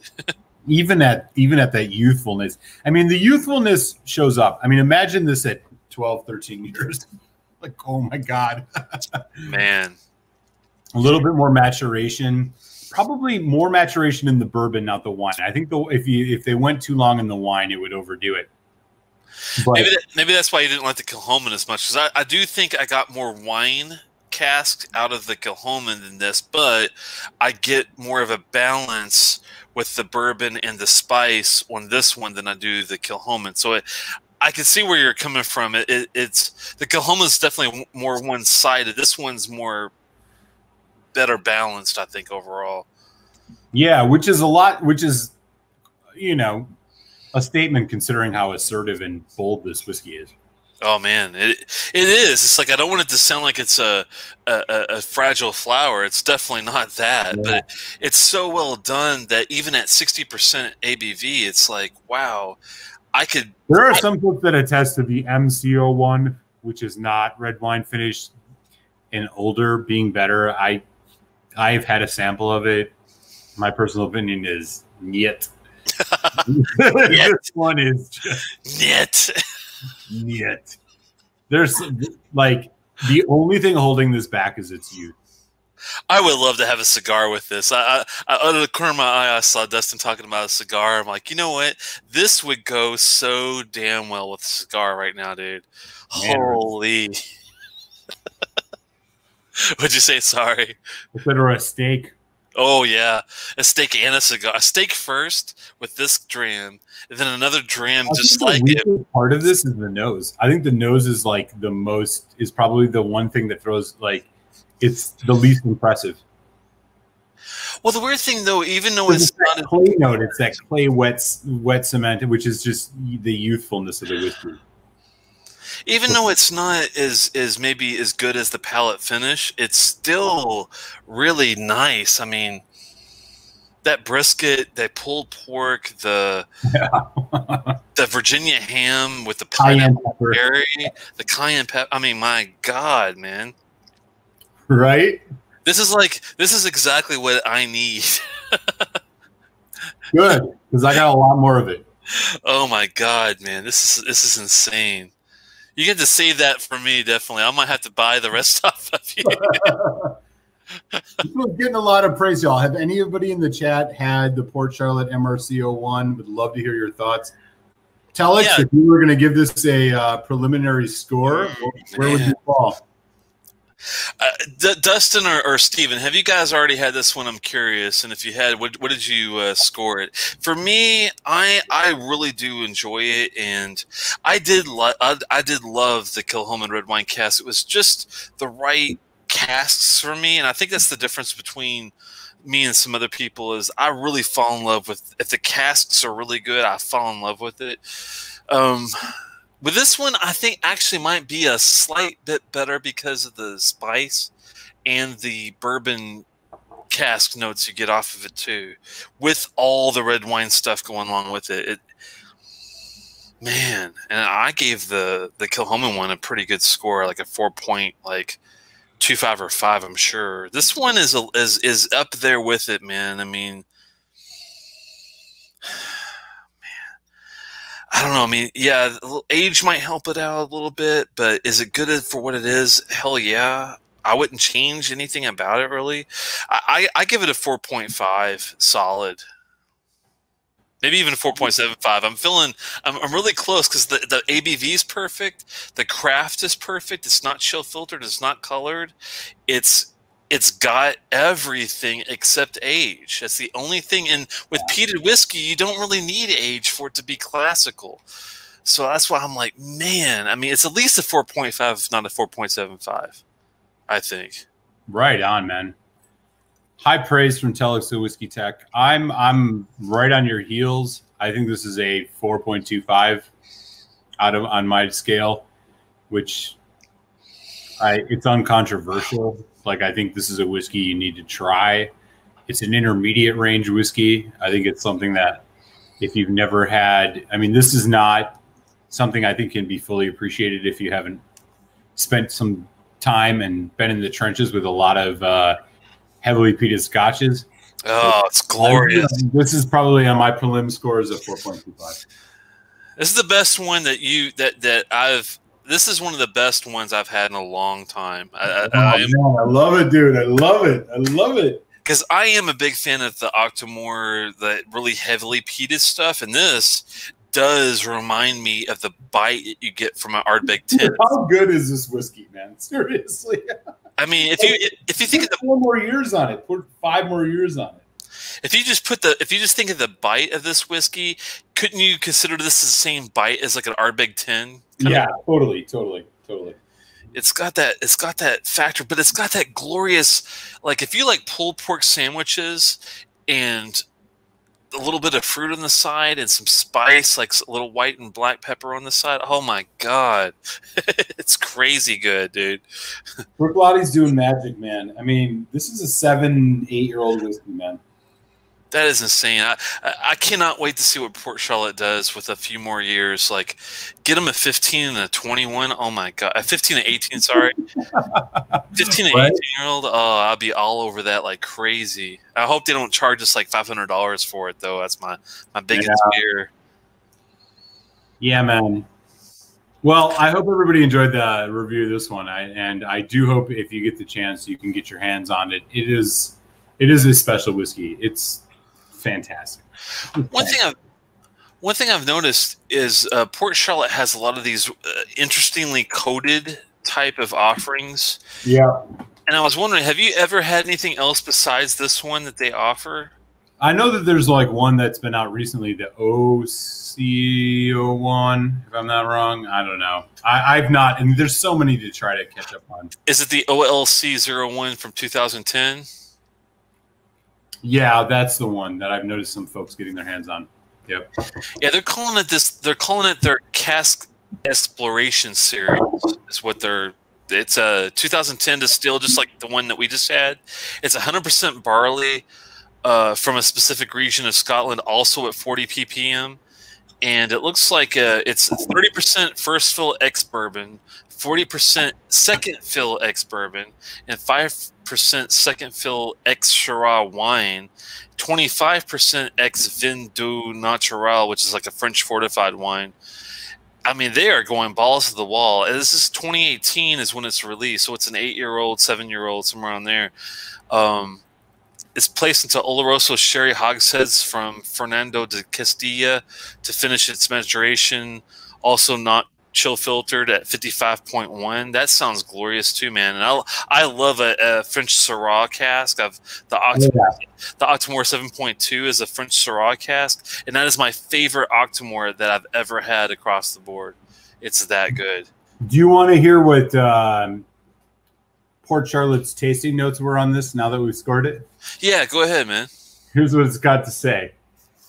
Uh, red fruits, raspberry and cherry, icing sugar and marshmallow, overlaying maple syrup, chocolate, roasted coffee bean, licorice, walnut, and almond, woven through with soft peat smoke. Soft, really? No.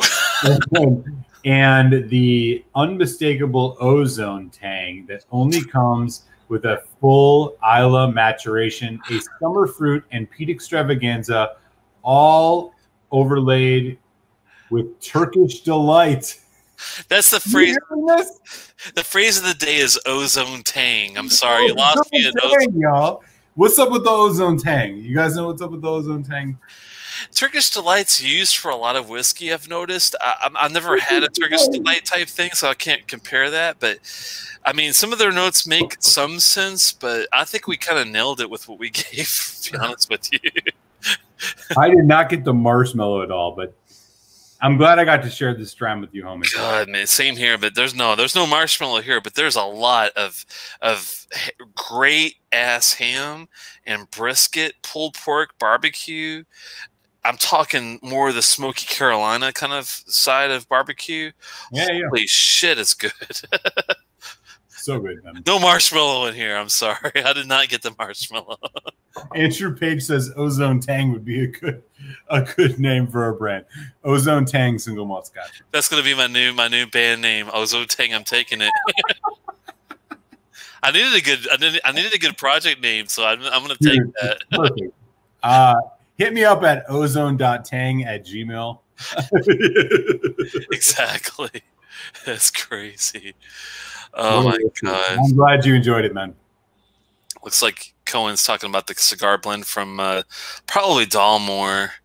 Uh, the Murray Hill and uh, I was looking to see if they had anything in it. Oh, they're talking about the Dalmores.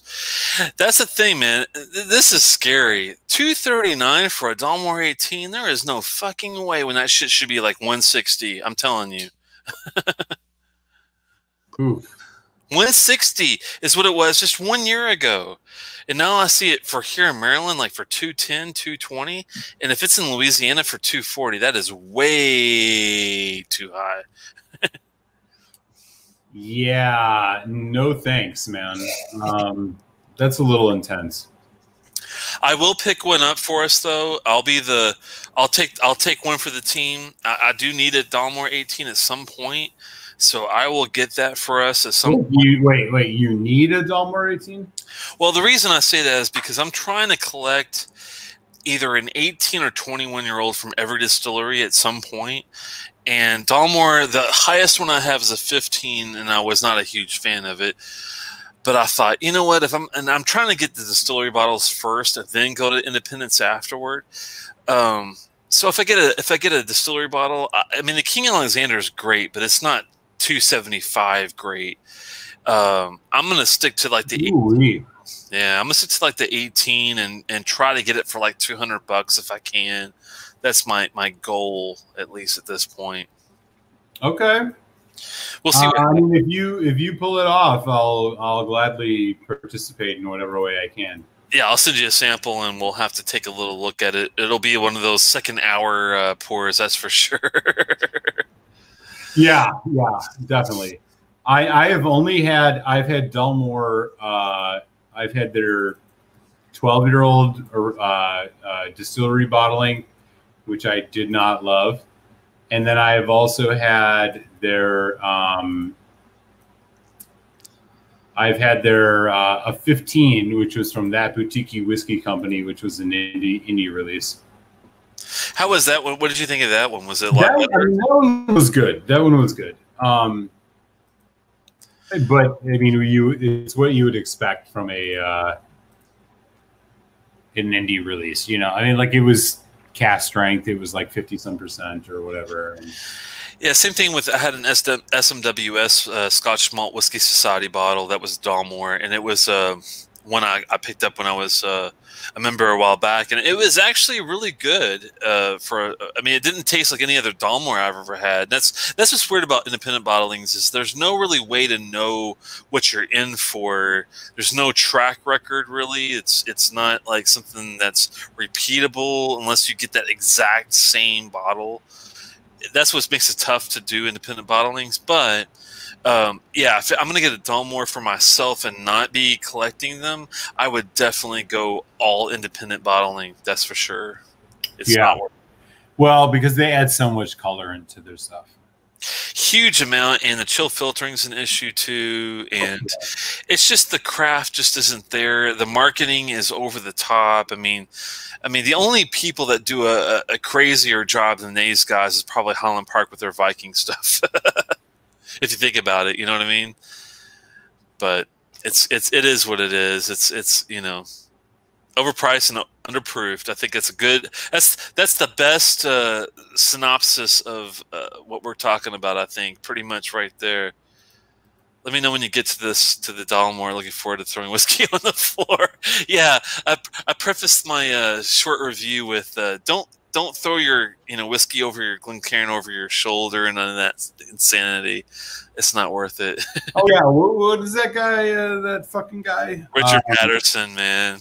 He's like, just throw it on the ground, like some bourgeois. like, I thought it was some big joke when I when I first got you know a few like four years ago I think is when I started this whole whiskey journey, and when I first started looking around at you know looking at Ralfy's stuff and looking at different things and uh, I'm like who's this Richard Paterson guy and I, I, I when I think of him I think his equal basically being Ron um, the Anchorman Burgundy Ron Burgundy from you know, Will Ferrell's character. That's who he reminds me of, really. If you think about it, it's ridiculous, man. I'm like, how could you have that as your brand ambassador? Are you fucking kidding me? I mean, the guy, the guy's polishing turds, man. It's crazy. I, I, I just don't get it when you got you know people putting out this kind of stuff. This Port Charlotte is, I mean, I, the sad thing is we know who Richard Paterson is, but we don't know who the master. I mean, I don't. I should know because I'm I'm going to look it up after this. We don't know who the oh. master blender is for this guy. You know what I mean? Right. Why is that? Yeah, no, I'm with you, man. I uh, I remember seeing the Richard Paterson videos when I first got into Scotch, you know, over half a decade ago now, and uh, I think half a decade, yeah, about that. And I remember saying like, I like I remember like learning stuff from him because you you can learn stuff from him about nosing whiskey and like how to appreciate it. But when he started throwing stuff on the ground, I was like, "Are you kidding me? Like, do you realize that most working folks are like me and you and others and the people that we're hanging out with tonight like are spending our hard-earned money on scotch whiskey and you're trying to say yeah just throw your fucking grams on the ground like some some bourgeois country club mother like are you kidding me I tell you what, if, if it was an Ardbeg 30, I would my, my tongue would be the if, if it was an Ardbeg 30, my tongue would be on the floor lapping that shit up. Dude. Yeah, dude, real talk, man. Like, are you kidding me? Like, what is this? Like, this guy, it's so tone deaf. And maybe it's just like part and parcel for like somebody who's speaking on behalf of the quote Scotch whiskey industry who's like doesn't understand. Like, here's I'll, I'll say this look, Scotch whiskey here in the States, it's not exactly like an entry level thing. Like, you don't go to the store and you buy scotch. I mean, we're freaking Americans. People buy bourbon. Like this is the way it is. But the idea that like you would like create an extra level of pretension and have your video viewed a million times on YouTube about like, oh, if you do buy scotch, this is the way. Like you want to talk about making this inaccessible to people who would like potentially enjoy it. That's the way to do it. Yeah, it's. I'm, I'm as I'm as thankful that no one else that I can think of does what he does. Like, uh, I've never. you brought up a good thing that I want to kind of uh, maybe tackle. Uh, we were, you know how we were talking about anCnoc and Balblair and those brands. Those are ThaiBev brands. There's a lady named Steph Ridgeway that that is like the the lady that controls a lot of the branding and, and whatnot of the anCnoc and Balblair Speyburn uh, brands for ThaiBev. I'm, I'm wondering, uh, it'd be awesome to have like an interview with her to say, hey, you know, what are you, where are you going with the whole Blair, you know, push to the new 12 you know the, the whole new uh, age releases. Are you guys going to be thinking of doing the same thing with anCnoc soon? Are how are the supplies on those whiskeys? Those are the things i would love to ask her like on the side you know and see what she would would uh, say.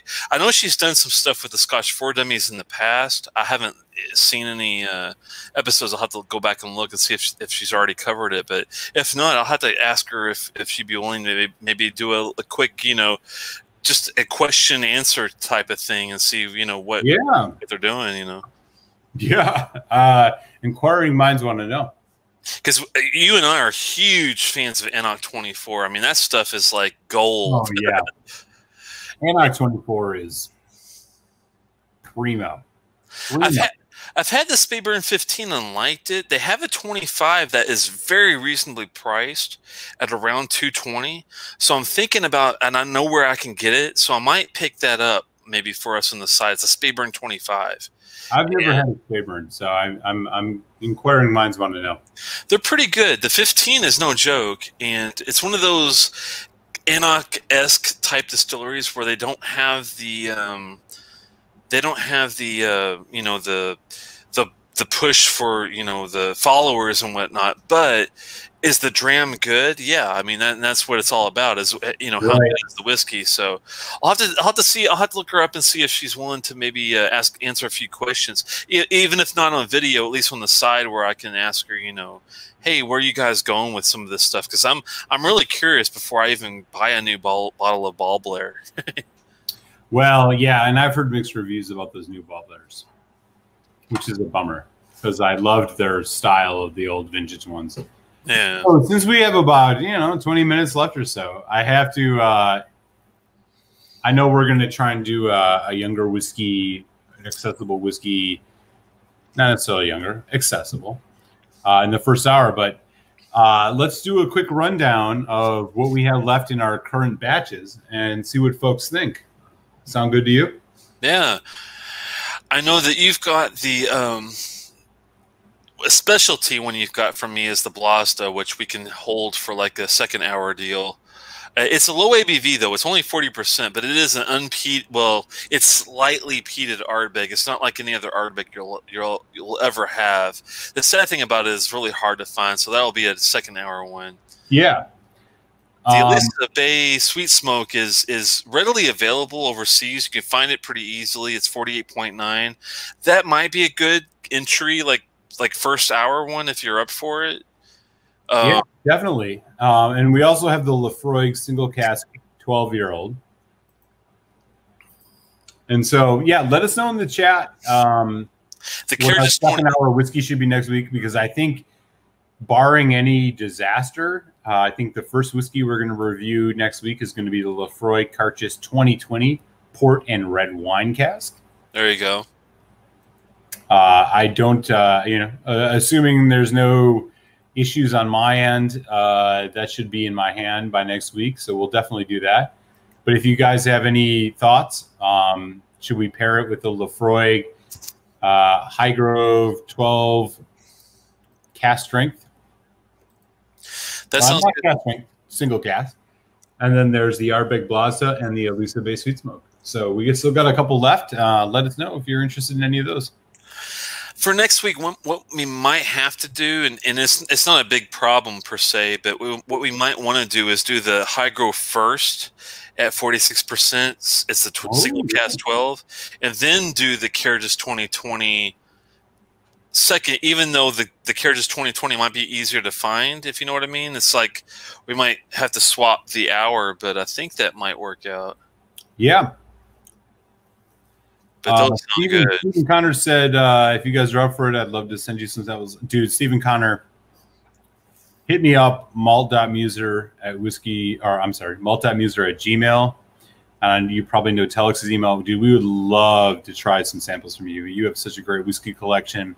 We appreciate you hanging out, sharing your thoughts, sharing your knowledge, and potentially sharing your samples. Um, we would love to sample some of your stuff, man. So, like, feel free to shoot us an email.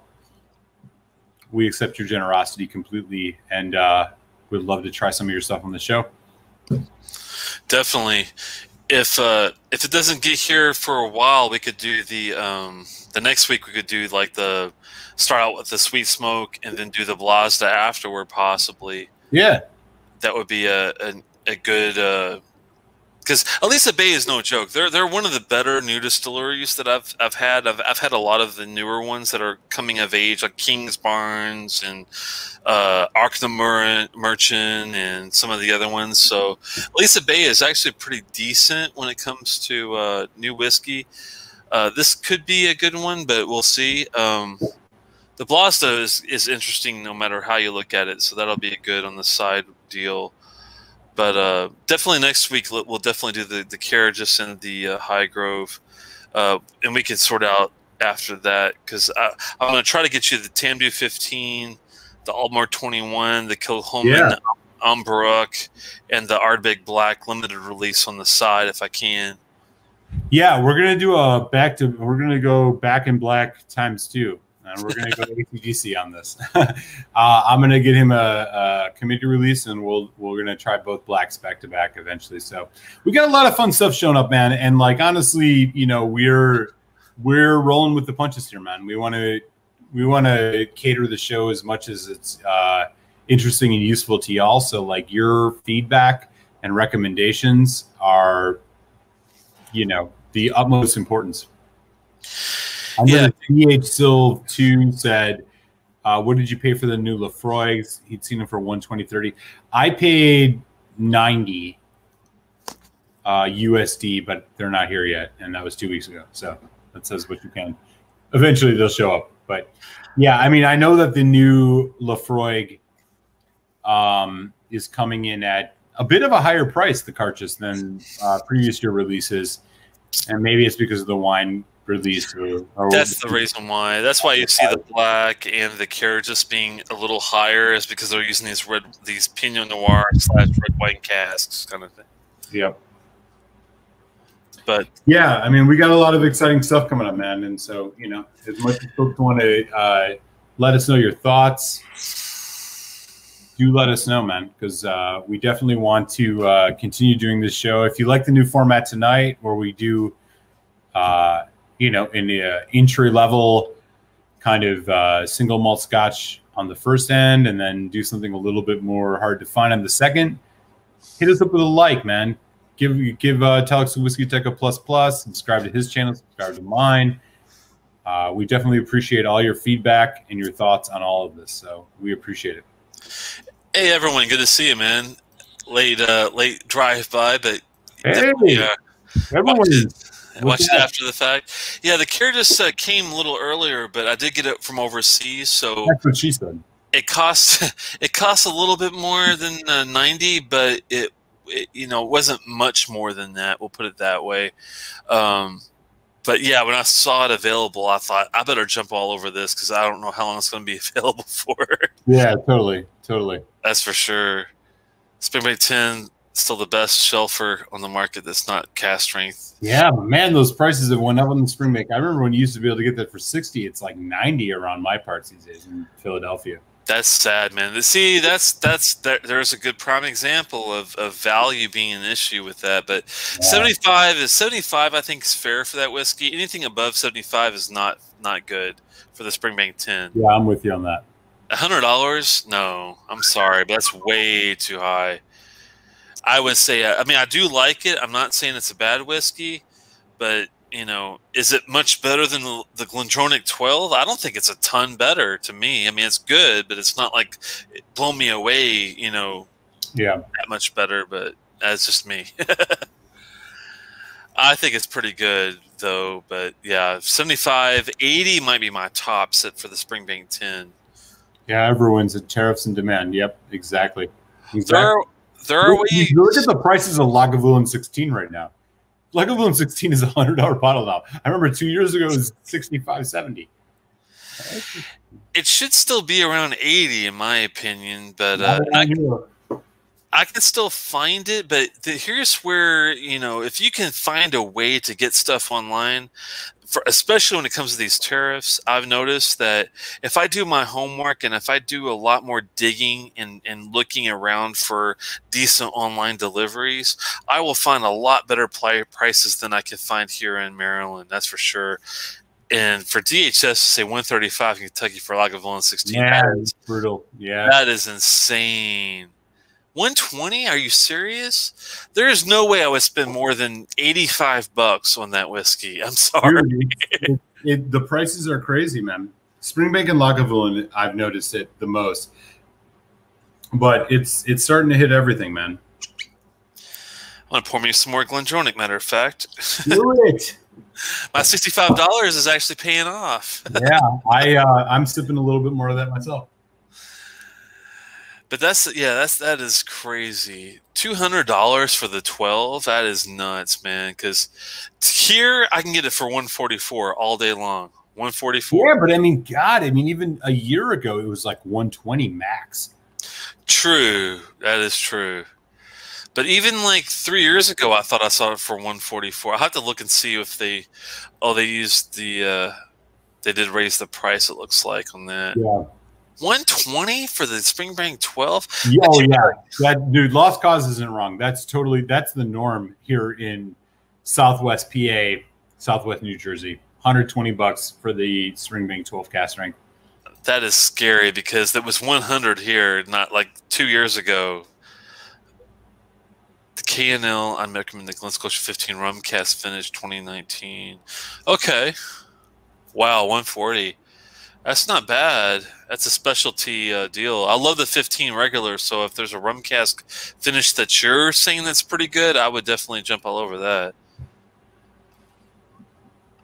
Three times what it was last year. Yeah. That is crazy, man. I'm sorry, but that's just nuts. 120. Wow. Again, would you compare the. That's true. Yeah, the Springbank, uh, the the cask strength 12 is much better than any 12 year old. Oh yeah, for sure. I mean, there's you can count on one hand how many 12 year olds even match up to the Springbank 12. Even even a week, even a week release from them. Yeah, I mean the only thing I would I would put up against a Springbank 12 is maybe the Lagavulin 12 at cask strength. Um, what other 12 cast? Yeah, Lagavulin 12 cask strength is probably the only one. Uh, I mean, I have not had the Highland Park single cask 12 year yet, which I have. I'm going to open it up later this year, but you I, can't hold on. be close to that.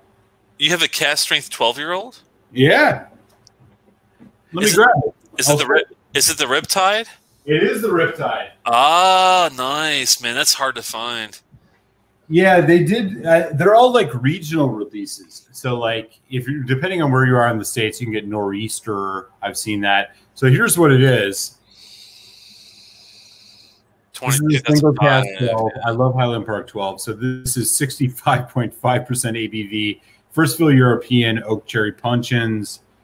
Uh, yes, 12 years old. I mean, this is like a buck 50. I got this because I just love Highland Park 12. And so it's a special thing I'm going to do for, uh, I'll probably open it up in December. I haven't opened it yet, but you know, it comes in one of these little baggies, old label. You know, they don't. It's not Viking honored to the to the death. uh, but yeah, man. I mean, come on, right? I mean, how do you turn down sixty five point five percent Highland Park? You can't. I, I would love to have a little sample of that at some. Well, point. you will, my friend. Uh, it will be in the mail to you when. I'm not opening this until December because I'm going to do uh, 12 year olds in December. I'm going to do a couple 10 year olds in October. But believe me, man, a sample of this will come your way. Looks like uh, DC's got it, and I think they do deliver to people for uh, states yeah. that are uh, over. Overwind, Overwind is totally right. That's where I got it from. Is Potomac Wine. Yeah, nice. I got it a couple years ago. It was like 140 some, 150 bucks. Yeah, well, I'll have to. Yeah, I'll, I'll have to take a look and see if I can find a little bit of. Uh, I think I think I found a, a version of that in California. I'll try to pick up that one, and maybe we can like. Yeah, there's a bunch because they're not all 12 year old either. Uh, either some of them are 15, 10. They're all over. The Nor'easter, I think, is 11 years old. Oh, okay. Huh. Yeah. I'm looking forward to it because I mean it's hard to find a cask strength 12 year old at any any distillery. Oh, yeah, really, totally, totally. I mean, and you know, I overpaid for this Highland Park, but I did it because I mean, it it's Highland Park. It's hard it to turn down. Moments, right? It was just one of those moments where you're like, "Yeah, I'm going to do it." I mean, if Highland Park was more like a Springbank slash uh, Lagavulin and always had a 12 year cask strength, it, would be different. But this is like a limited edition. It's like, yeah, 20 bucks extra is not going to kill you, you know, to Man, throw it out. I this, the more I'm just loving this Glendronach 12. I think it might come up to a four. uh, yeah, I don't know if it's going to come up to a four, uh, but I'm I'm there on the three. I think I gave it a three two five the more I drink it, it's maybe a 3.5. I, it's just so. Nah, I think you gave it a three five, and I think you might be getting to close to a 3.7. ah, you might be right. You might be right. this is subjectivity in action, y'all. There you go.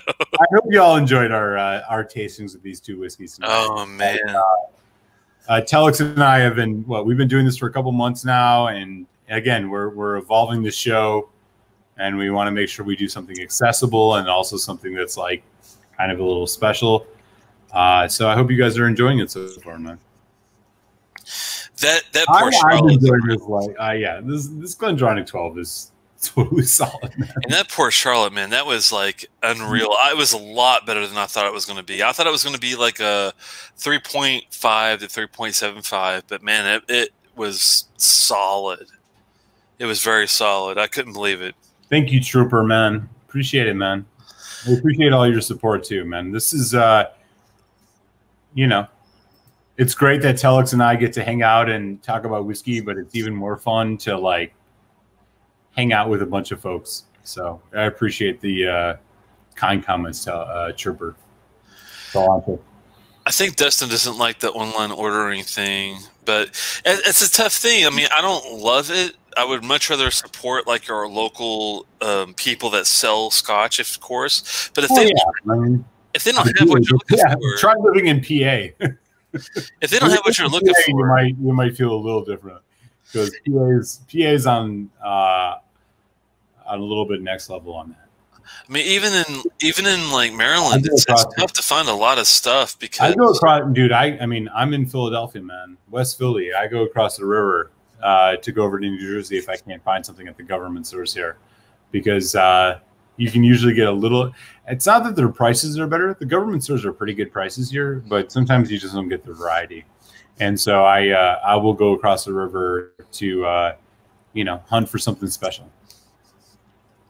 Very true. And, and and and sometimes I might you know find like a little niche. Like the Pennsylvania has a specific uh, online offering that they, Yep. they do. There a lot of them, man. I I mean, a lot. Yeah. say what you want about government stores and like yeah there are pluses and minuses but some of them man actually have a pretty good uh, uh, collection and and you can get decent stuff and yeah it is what it is I am thankful that I live in Maryland because they do have a county by county difference. That that every Right. county has a different law. It's yeah montgomery county versus yeah yeah i know all about that i remember it from my days of living in dc how different that is but Isn't that crazy? Like, I wonder why that is, but I'm not complaining. I'm just glad that we can. united states man I'm just glad we can order stuff to Maryland. So if you like malt, if malt, this is good for you. If you, if you are looking for something you can't find that doesn't deliver to PA, let me know, and I'll be happy to try to help you out on the side and, and see what we can do. yeah we'll do for sure man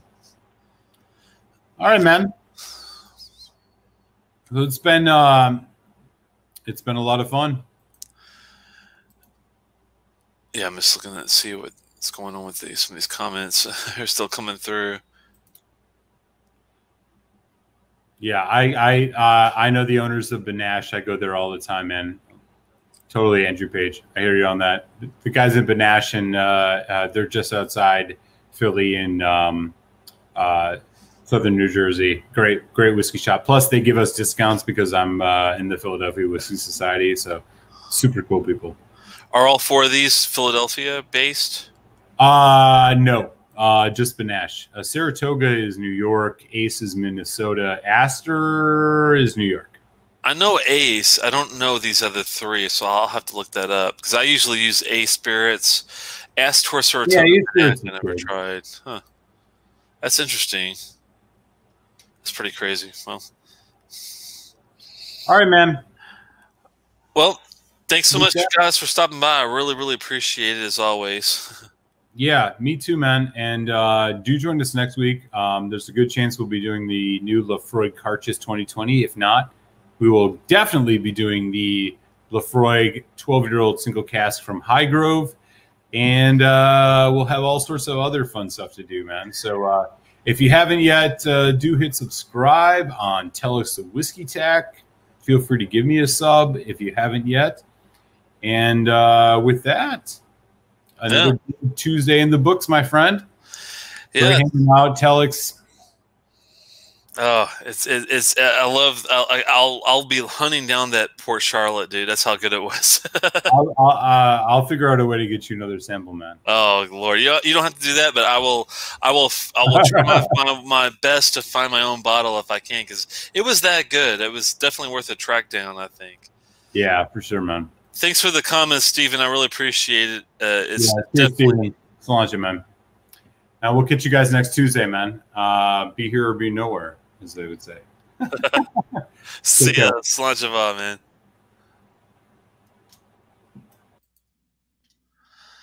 Yeah, I'll stick around with you there, uh, Stephen, and uh, finish the dram.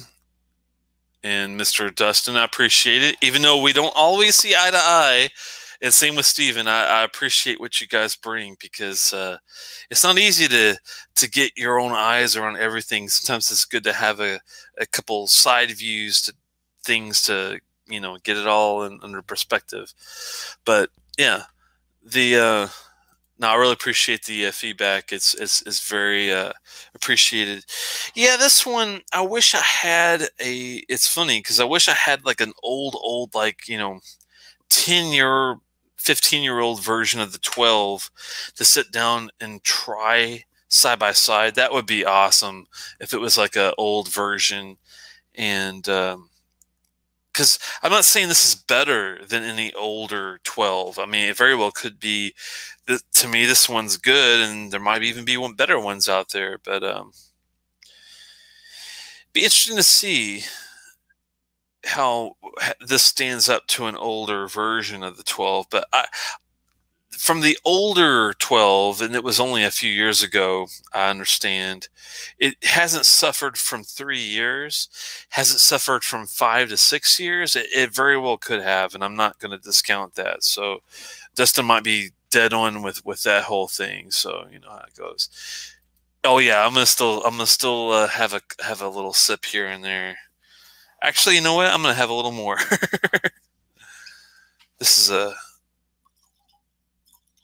this deserves a little bit more in the old glass. As I tell you what, I mean, even though I do like the Macallan 12, I'm not knocking it. I think it's a good dram. It's one of my favorite sherry drams. Um, and I do like the, um, I do like an Aberlour. You know, it's the 18 was was pretty good. Um, I haven't tried. I'm trying to remember back to the 12. It, it was so rough like 16ish that I don't even know if I even went that way, but it's it's hard to really beat this this one when it comes to just pure regular straight up sherry dram. It's hard to find something other than the Bunnahabhain 12 and the Kilkerran 12. I'll agree; those are right up with there. I, I can't find it no, it's not. I'm not saying it's bitter at all. There, Dustin. It's it's rich. It is rich. It's it's on the sweeter side, and I don't mind a sweet dram. And I prefer it actually because I'm more of a PX guy than an Oloroso guy. But uh, well, it depends. It depends on on the make because there have been some PX ones that I'm not so into as much as Oloroso. So it, it's a tough it's a tough balance. mm. Yeah, I would love to see where these guys would be if this Billy character, which I don't, really, I don't even know who Billy is. I'm sure he's the uh, former master blender for uh, Glendronach. Um, but I would love to see what he did with the uh, 12, 15. Not to have it like old school, not be a proper 12 and be an actual 18 year old, but if it's a proper 12, to see what he uh, could come up with versus her, then that would be a be a good one. Uh oh, here we go. The Glendronach is too bitter and too sharp. Hmm. Bitter and sharp compared to the Macallan 12. I'm going back. Now, I'll agree with you. The Macallan 12 is, is, I hate to use the word smoother, but it is a more refined taste. Oh, man.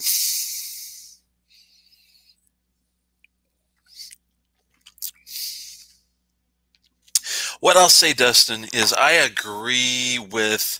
I'm not sure if I would say bitter or sh- uh, sharp might be the better word. I think it's more sulfuric. I think there's more sulfuric tones to this, but I think there's just more sherry involved with it. I don't know. I mean, I have to go back and take a, another look. I, I, haven't had a Macallan 12 in a while, I'll be honest with you, Dustin. So I'm going to go back. I'm going to try to talk malt into doing a Macallan 12 at some point and I'll try to save some of this and do like a side shootout and see what I like better, just just out of curiosity. Glenallachie 12 PX is nice as the uh, regular 12. Nice at 46%, but not as much depth. I see. I like the 12 uh, PX a lot, but PX is one of those things that really is is a very dividing type of sherry. Since I love a sweet dram, PX doesn't really throw me off too much, but um, I can tell why they're not really into that. Uh, yeah, it's funny that one of the first Scotch drams I ever tried was a smoky grouse and the naked grouse. And um, I started with the naked grouse, went to the smoky grouse. Those to me were when you get to the more it had a bit of like a saccharine kind of feel, like a um, artificial aspartame kind of, of taste to it. I'm not a big fan of the uh, grouse series, and I'm not knocking it. It, it, it could be a very well good you know blended whiskey and that and that's fine but for me I, I just was a little too artificial tasting for me on the smoky slash naked grouse um, from what I remember. Uh, Glendronach 15, 15 bucks more is at a five star. And that's the thing. It, when I'm talking about what you have to remember, Dustin, when I'm rating a whiskey, whether it's NAS, 12 year, 15, 21, 30, 40, 50, not tasted 50 year old whiskey, believe it or not. Um, to me, the years doesn't equate to the stars.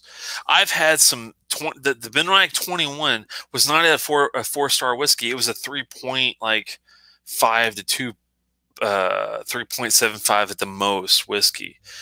To me, this is a lot better than that Benriach 21. That's just me. I, I like the taste of this better, the roundness, the the bourbon, the slash the uh, PX and the Oloroso, the balance. There's a lot of the mouth coat. There's a lot of factors to me that come along with this. So that's why, even though it's a, I might like the revival less than the 12. I, it's been a long time since I've had the revival. I had an expo a couple of years ago, and it was the second version. It wasn't the first version. It was the Rachel Barrie version. I thought it was okay. I probably would have been something similar to this. I don't think it was much better than this original 12, to be honest with you. Just going by like pure memory. It's been a while since I've had it, but Billy Walker was the the Master Blender. Okay. I went on Glenallachie. No wonder is so damn good. Okay. Well, that makes a lot of sense there. Anyone had this small print on the back of the Laphroaig Cairdeas, uh, I'm sorry, the Laphroaig tin cask strength, where it's just adding twice as much water to the, huh. That is scary. Let me see if I see that on this. I'll be right back.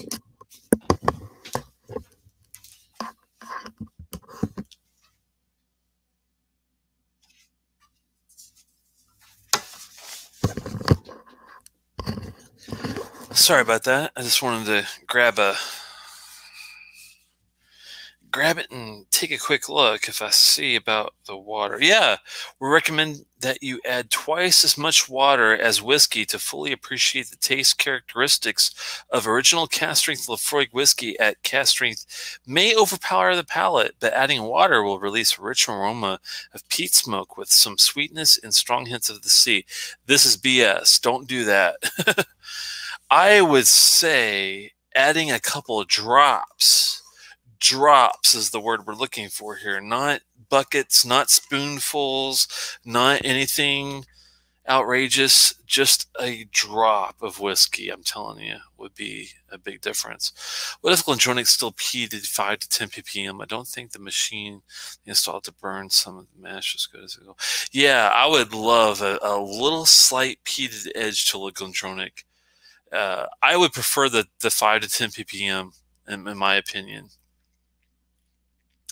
Port a black label Springbank 12. Oh, cast strength, the one I've got. Oh, it's in the other room.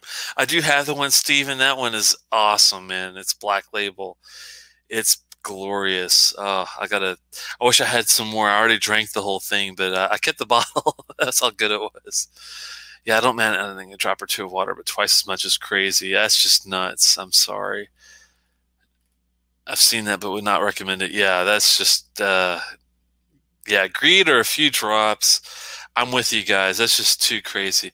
The Macallan 12 is too sulfury, in my humble opinion. It's not as good as it used to be. The Glendronach 12 is more complexity and richness. I'm the same way with you there, everyone. I agree. I'm sure there's some people in here that don't agree, but that's okay. It's all subjective. 2010. As soon as I said that, here we go. The 12 is thin and sharp and bitter and no very and no very sherry. It goes have a nice chocolate. Well, I do get a little chocolate in there, DHS uh, Dustin, but uh, I get a lot of nice ruby red fruit. I mean, I got raspberries and currants and strawberries and berries out the ass. I'm not sure what else you're looking for there. Jordan Grouse. Yeah, I just I, it was a little too a little too. I don't mind sweetness, but the sweetness in it was a little too not as. I don't know what to how to say it. I don't want to say fake, but it was a little too cloyingly diet tasting to me. I don't know what it is. Yeah, the tin can take some water, but not that much. That's for sure. Never had the naked grouse for trooper. It's a blended single malt, but the famous are not. Oh, okay. A blended single malt, but the famous are. I've had the famous and the smoky. I don't know if I've ever had the naked grouse. I gotta look at that and see if I've had the naked one. I don't think I've had the naked one. The famous slash smoky one, I think I've had. I'll have to go back and take a look at that. Um, the big thing about Billy Walker is that he's an investor in distilleries and trying to make them profitable before acquisition. I like that, man. That's the way to do it. Invest in what you believe in. Naked Grouse is a single malt, and it's rare to have that much share in a young NAS. But it's not bad. Well, that's a good to know. I have not. I'm gonna have to take another look at the Naked Grouse because I think the smoky slash uh, famous were the ones I had. And this was like really early on my Scotch, not Scotch journey, I should say, and uh, was not a big fan of those. But the Naked Grouse might be uh, one to look at because I like single and I like rare and I like sherry. so those three things are good. So is the GlenDronach 15 not way better than the 12 to you? Not to not to what I remember. I don't. Uh, from what I remember, having the 15 revival at a, and this is an expo. So expos are tough to really judge a whiskey truly, and this is after the fact. I mean, I wouldn't have paid three hundred dollars to get into the place if if now knowing what I know now, I've went to a couple of expos before, and I went. I'll never do another one, but. uh at the time, it was good it was about the same. It wasn't like, you know, blow my mind four and a half or 4.75 it was still around a four it wasn't like you know it was it was good but it wasn't like you know crazy. He thought it was heavenly i mean that that's that's great but I, I don't think there was a huge difference between the two. I like the naked but not the famous. Okay i'll have to try the naked one and see the new 15 is freaking awesome right to the 12. That's the thing. I've, uh, this is keep in mind, guys. This has been three years ago since I've had the 15. I, you know, I'll have to reapproach it because it's it's been one of those things where it was a it was a tried it and then a year goes by, you get a chance to try the 15. This is three years ago. Try it, and at an expo, it's really, really tough to judge a whiskey. So I'm gonna get my own bottle of 15 and see what I think about it, because I, I, I can tell you guys love the 15 compared to the. Uh, but keep in mind, are we talking classic 15 revival or new 15 revival? That's a huge difference. Huge difference added that language to the back of the 19 characters. Also, the Pheno. Oh, that's crazy, man. I can't go 18, but again, I don't like PX as much. He's probably talking about the. I'm not sure if he's on the Glenelg. I'm sorry, the GlenDronach or the uh, Gellicky in that one. Traditionally peated. I have had the peated cask. I think it was the seven cask strength uh, peated GlenDronach Seven. It was okay. It wasn't. It wasn't. Um, it wasn't as good as I hoped it would be. It took a long time to open up. We'll put it that way. E150. Okay, I don't mind it if as long as it's you know different bottle with a clear short bottle, very small label. I'll look out for the naked grouse and see what I think about that one. Okay, finish my work so I can type coherently now. Okay. I thought you were just enjoying your whiskey, brother. Yeah, me too. I thought he was just enjoying a, a lot of whiskey. Thanks, Meister French, for stopping by. Trying to catch up here. I'm, i know I'm way behind. I think Naked Grouse is similar to the A'bunadh. Every batch differs. Okay, that's good to know at least.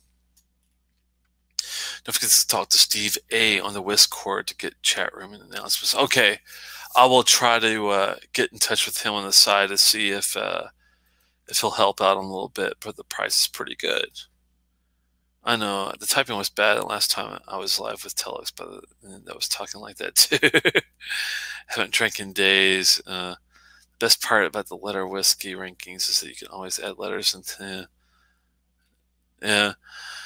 Yeah, I mean that's the thing, guys. Like I'm not saying that the, the 15 is not I mean the 15 might be a lot better. You got to keep in mind I haven't had this in 3 years. I mean it's been a, it's been a long time. So yes, I I do enjoy this one. I'm I'm not to say I don't. Do I enjoy the the 15 a lot more? Well, we'll see. I'll I'll, I'll get a new bottle of it and see if um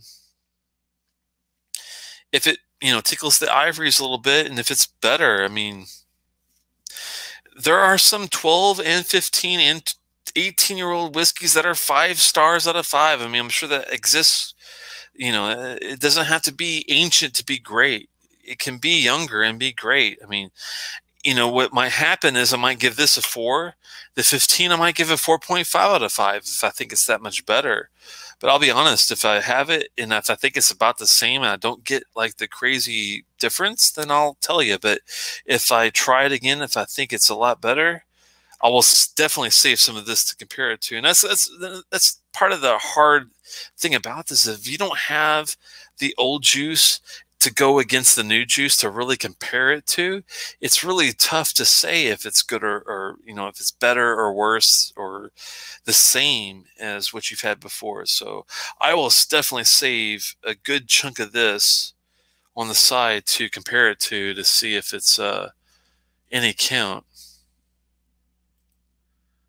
Let's see. Sorry. All right. Find the uh, 15. It's the best 15 on the market by far. Wow. It's good for the price. Single malt sherry bomb for 40 bucks. Wow.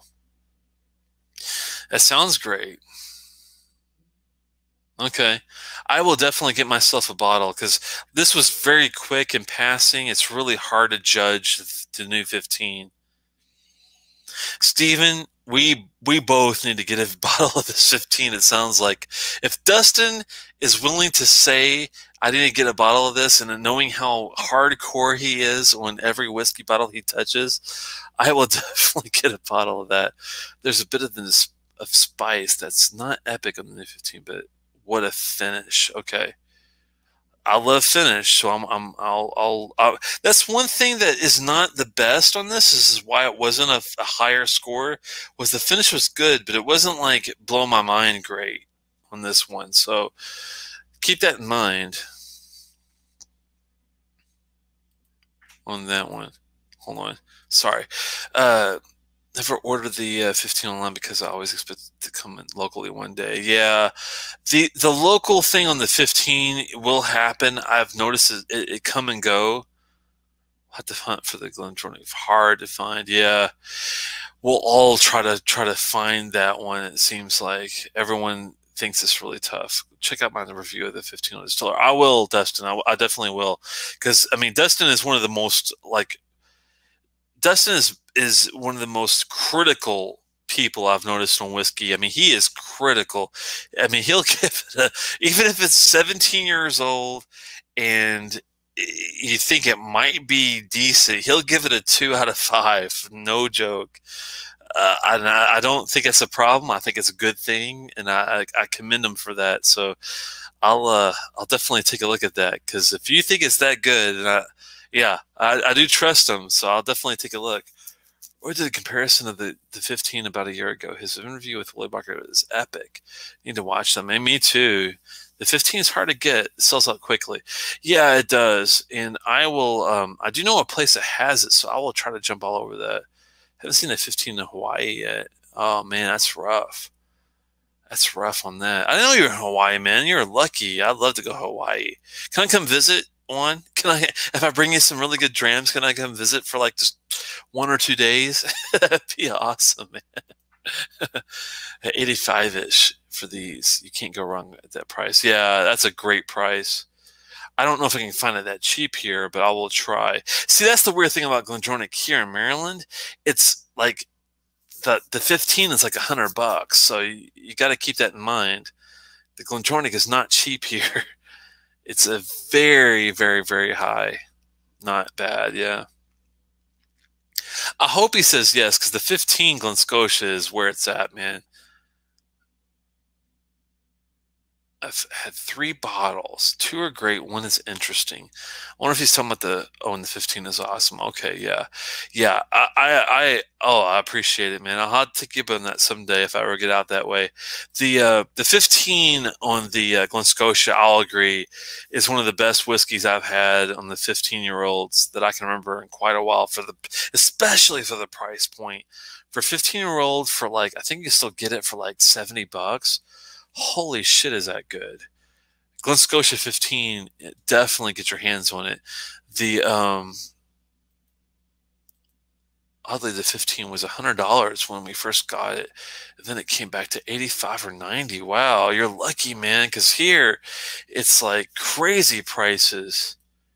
It's good uh, a value on the market. Yeah, I agree. That's the Glen Scotia. Thankfully, Dustin and I will agree on that one. Is our that that's our our joint dram.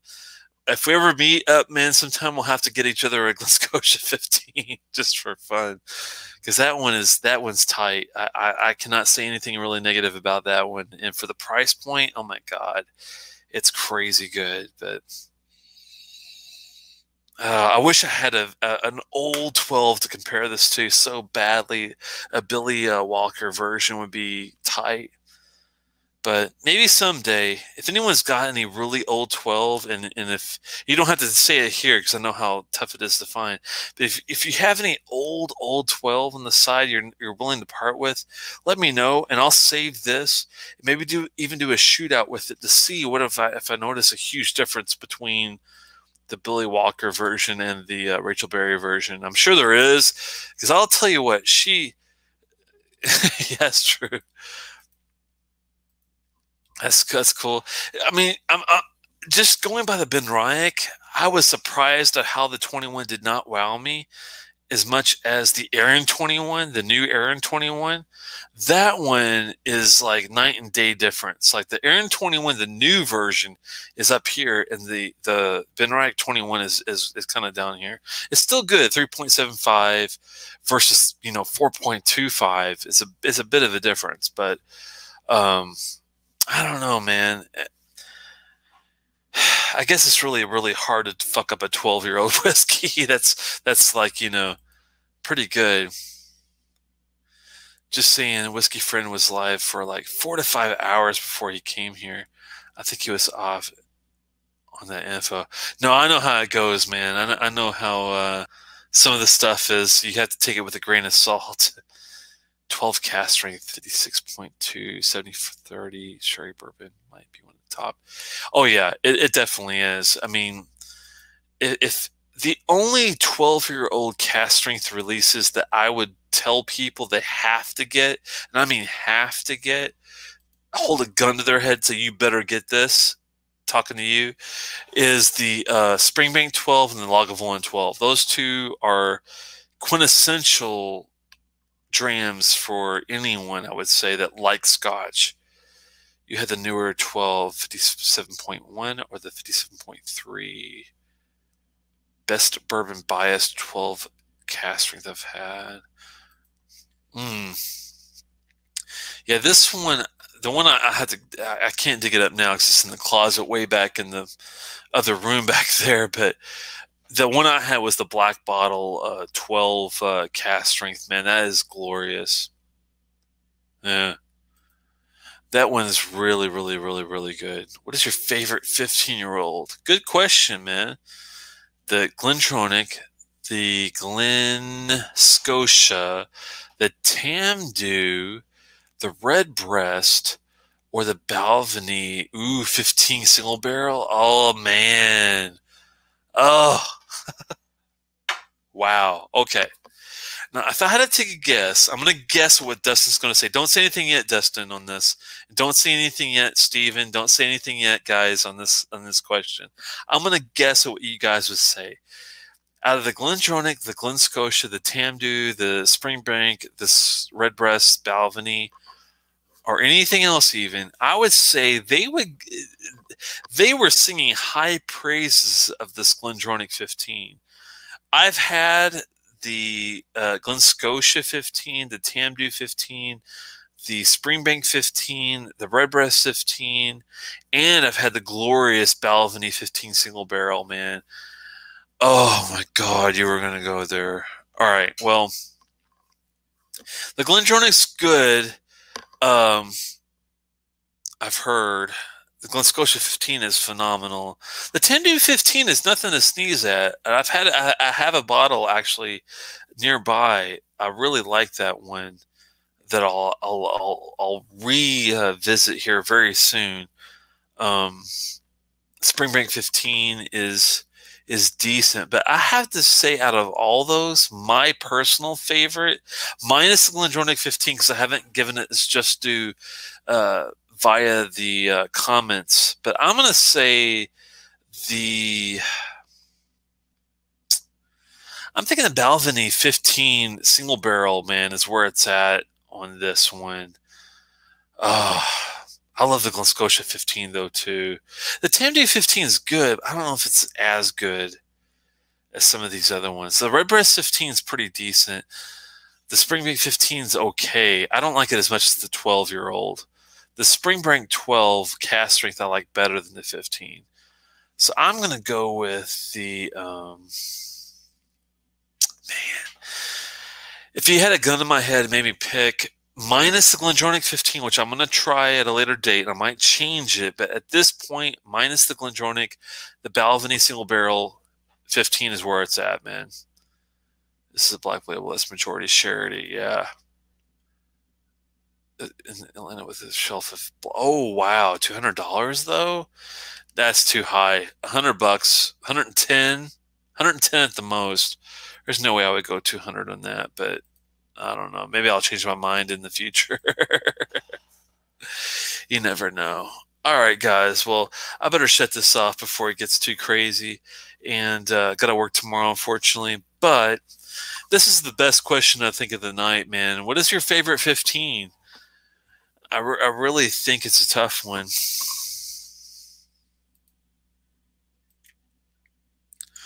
Three cheers from the Balvenie 15 carbon cask. I, I was with you there, Santa Cruz, and on that one.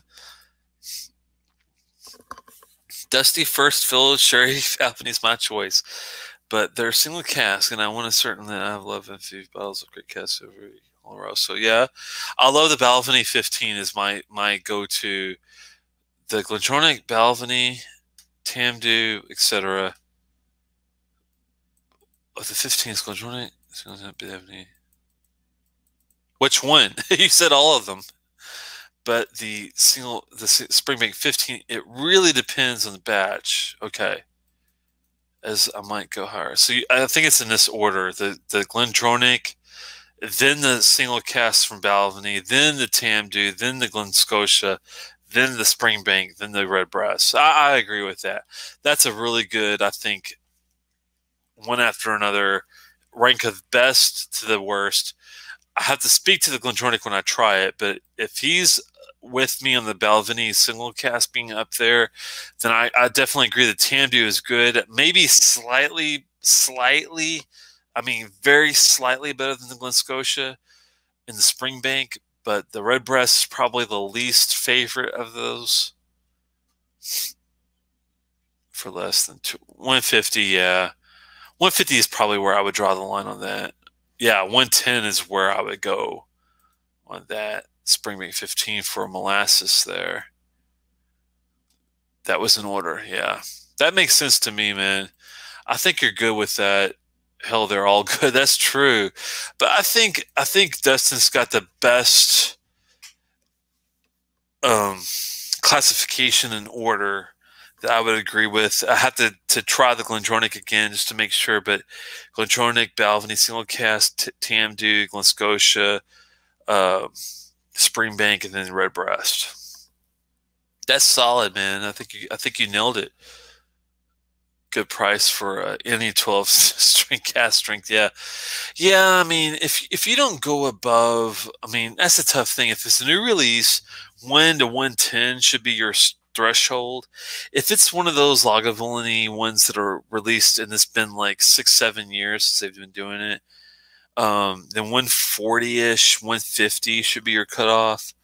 Um, for things that are really specialized, though, that's when you kind of have to be like, well, is it worth, you know, looking for that one year, one specialty bottle that gives me that that taste? Um, kind of like that Port Charlotte that he pulled out earlier, man. That I'll have to say that's a phenomenal whiskey, guys. If uh, for those who stuck around, it's no joke. It's it's not a, it's not you know the most refined 18 year old type whiskey I've ever had by by far. No, but if you're looking for a really nice high ABV cask strength, um, red wine cask influence, but still had the bourbon cask influence there that felt like a true eight year old, not too young, not too, you know, anything. I, I think it was solid. I'm thinking 4.5 is not too much for that whiskey, even at that age. Yes, could it be better with more age?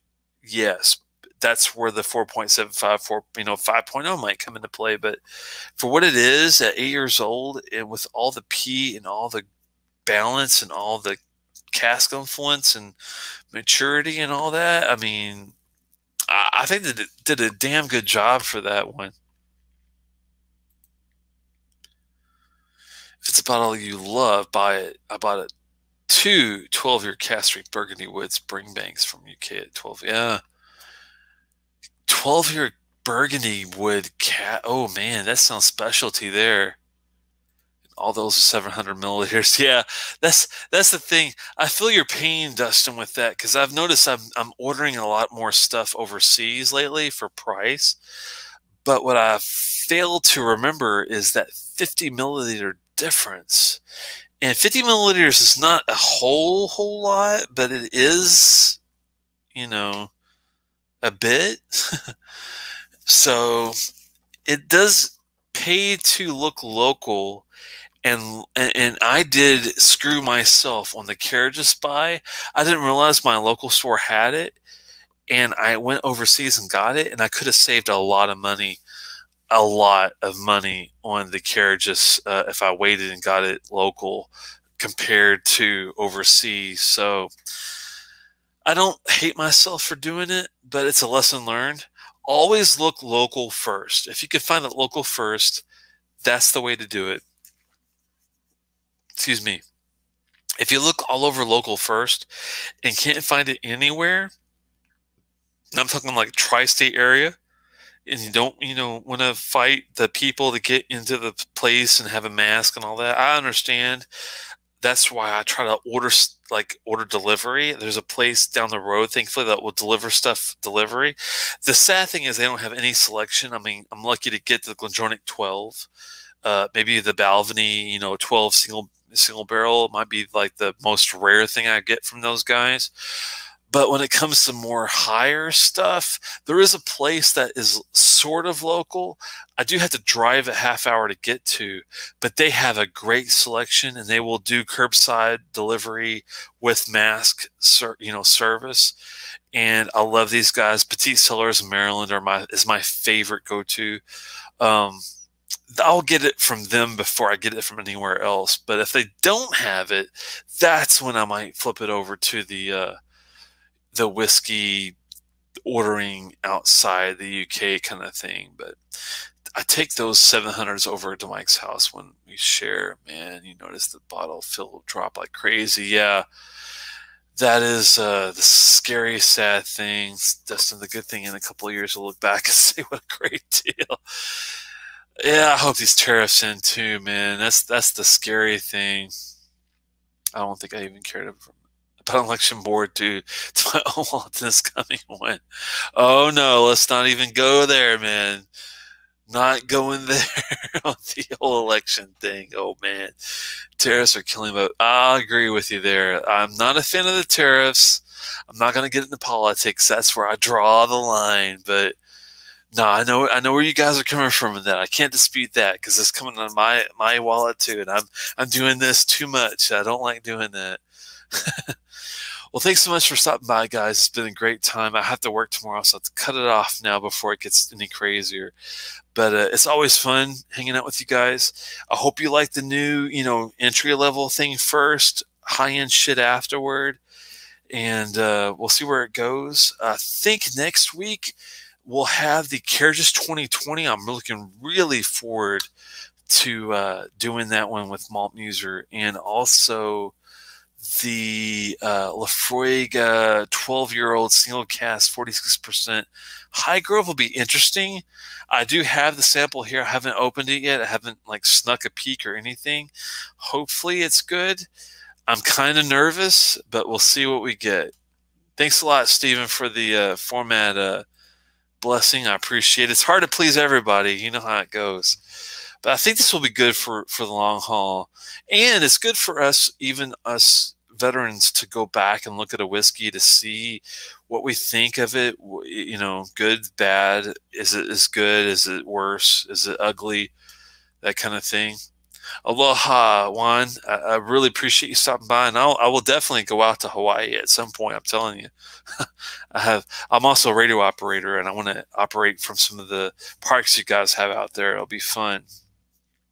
It's a whole other story, but uh, we'll see how it goes.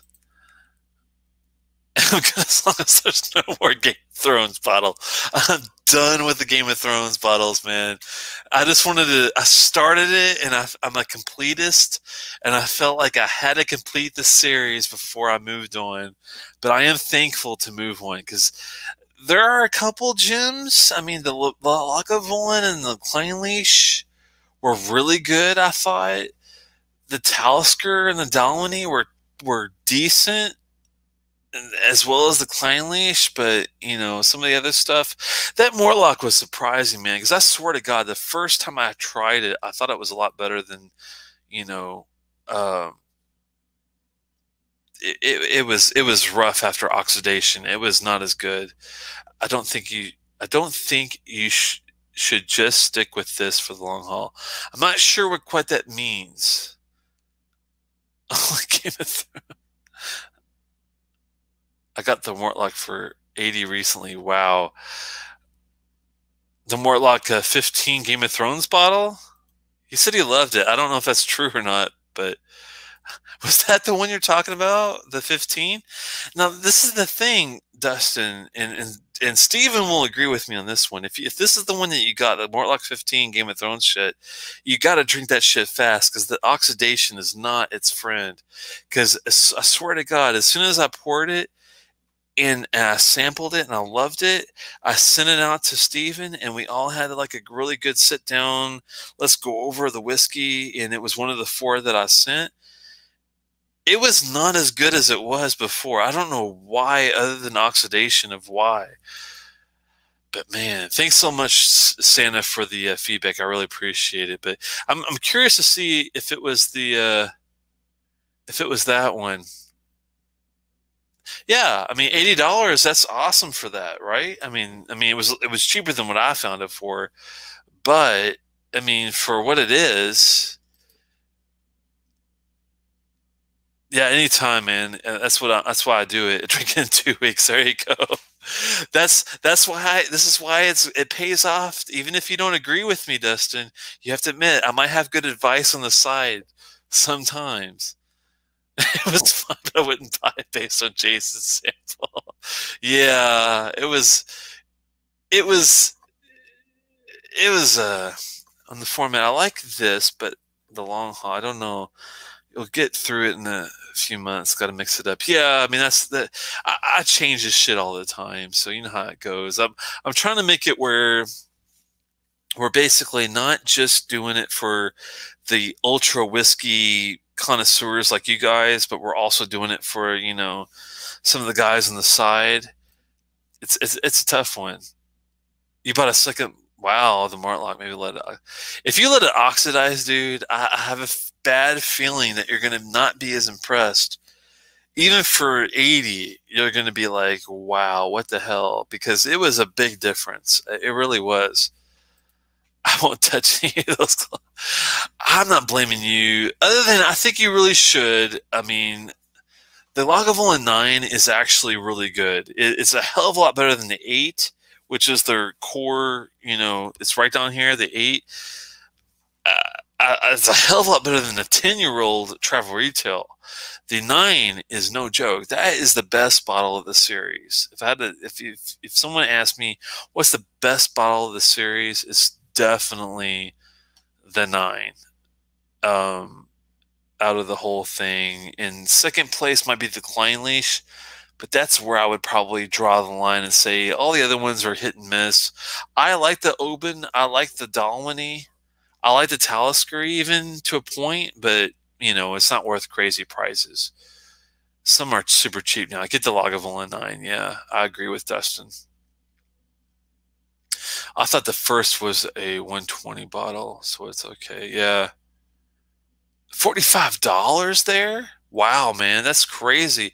It was like 80 to 90 here when I got it. And it was still worth like, I don't know if it's worth 90, but I, I'd give it maybe worth 70 to 80 ish, somewhere around that area, maybe.